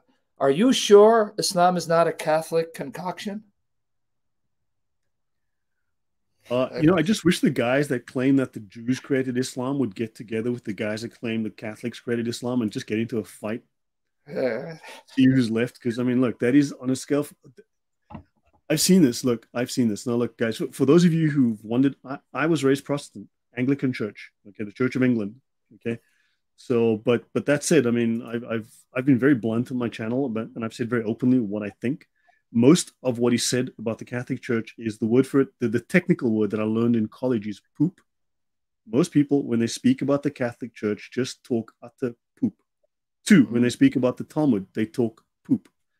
And uh, honestly, I mean, this is what I've come across. And also, when you look into the history of the Ref- of the Reformation and the people who are integral to the Reformation, these people are certifiably insane. Yeah, there's actually there was a scholar on Martin Luther. He said that Martin Luther had some serious psychological issues. He was really seriously psychologically damaged and traumatized. Yeah, that's true. But now you're telling me, and I'm going to leave you with this. You're telling me, wait, Chick Publications Jack Chick, who makes these Chick tracts that were very famous. Oh man, you start to get it. Yeah, sorry, go on. Okay, well, no, he says that Alberto Rivera was a Jesuit, and he was given information by the Society of Jesus Jesuits that Islam was a Catholic concoction. Are you telling me Alberto Rivera is not reliable? How dare you, you pagan? See, this is a the man problem. was a liar. The man was a fraud. The man was a criminal. The man was on the run. The no. man had convictions up he had, he had a rap sheet a mile long. The man was. You look into his history. You look at you look at the people who wrote the books on the Jews. Oh my gosh! You start looking at history. It is laughable, laughable. I mean, good grief. Honestly, you it's when now, you look now, at what you can verify from history, it's just. A, no, I know the Muslims are right about you. You're just a hater. How dare you attack Jack Chick? He's the greatest biblical scholar and the most reliable authority next to Muhammad. How dare you, sir? That's it. I'm done with you. But anyway, I mean, no. So look, I mean, in the future, we could look into those topics as well. yeah, I would love, honestly, I would love you to go into those topics. Like I said, it's going to be a series for as long as the Lord wills it. You're here every week, unless something happens. But maybe may the Lord return sooner than later, so we don't have to do this anymore. He just comes down, and that's it. We live in the presence of Christ. But I want all this to cover it with your permission. I want people to know about you, and I mean it. And I want you to go viral. So I don't want people to think I'm bringing him here so I can build my channel. That's not my intention. God forbid, and purge my motives. I want people to know about him. And that's why I'm telling you guys with your channels, invite him. Let this material spread wide and far on YouTube because this is stuff that's gold. We need millions to know this stuff. Honestly, yeah. we need we need people to know this stuff. So thank you for your service, brother. Yeah, so Martin Me says the more he reads the Bible, look, once you start to realize when you look at all of these these religious movements, all of these, you find they all stand for the same evil thing, and all of them are anti-biblical. All of them stand yes. against the God of the Bible. All of Hallelujah. them are movements, bar none. And, and uh, Nicola says, "Will you talk about the letter magic at some point?" John Dee comes to mind with, with the Enochian language. I'm not that well versed. I I've it takes a long time. I mean, it's taken me years to gather this. It's not like it happens overnight. I will talk about it. I have an understanding of it now. I'm starting to gather things, but uh, I take my time to get yeah. over this. And um, I mean, we, we can tie, for instance, I mean, I can already, if we ever talk about atheism, which is another fascinating topic, but we can definitively prove that atheism claims a link to the Enlightenment thinkers. They claim a direct link to the Enlightenment, right? The Enlightenment is a, was a time of great human development and human intellectual development, but Enlightenment principles are literally the same principles as the temple of Satan. Mm. Now, you know, I mean, who, they, they, don't teach you that in Sunday school, do they? But they don't teach you that. The atheists don't come and say, well, we, we, we happen to have the very same principles as the temple of Satan. Would you like wow. to become an atheist? Yeah. See, that's why even someone says watching your series on atheism. Your series on atheism. Oh, that's why, guys, you owe to yourself, go to his channel. He's got these series already in motion. He's already started them. By the time he gets to do it here, yeah. go there, watch his stuff, and invite him to your channels. Like if you have someone, you can invite him to start doing the series on atheism now because I'm having him finish this series. So invite the brother and pray for him. So glory. Atheism started as a pagan cult. See, right?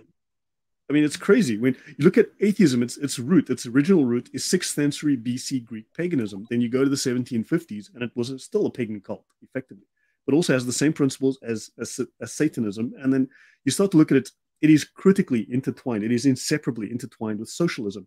Socialism was created by its founder.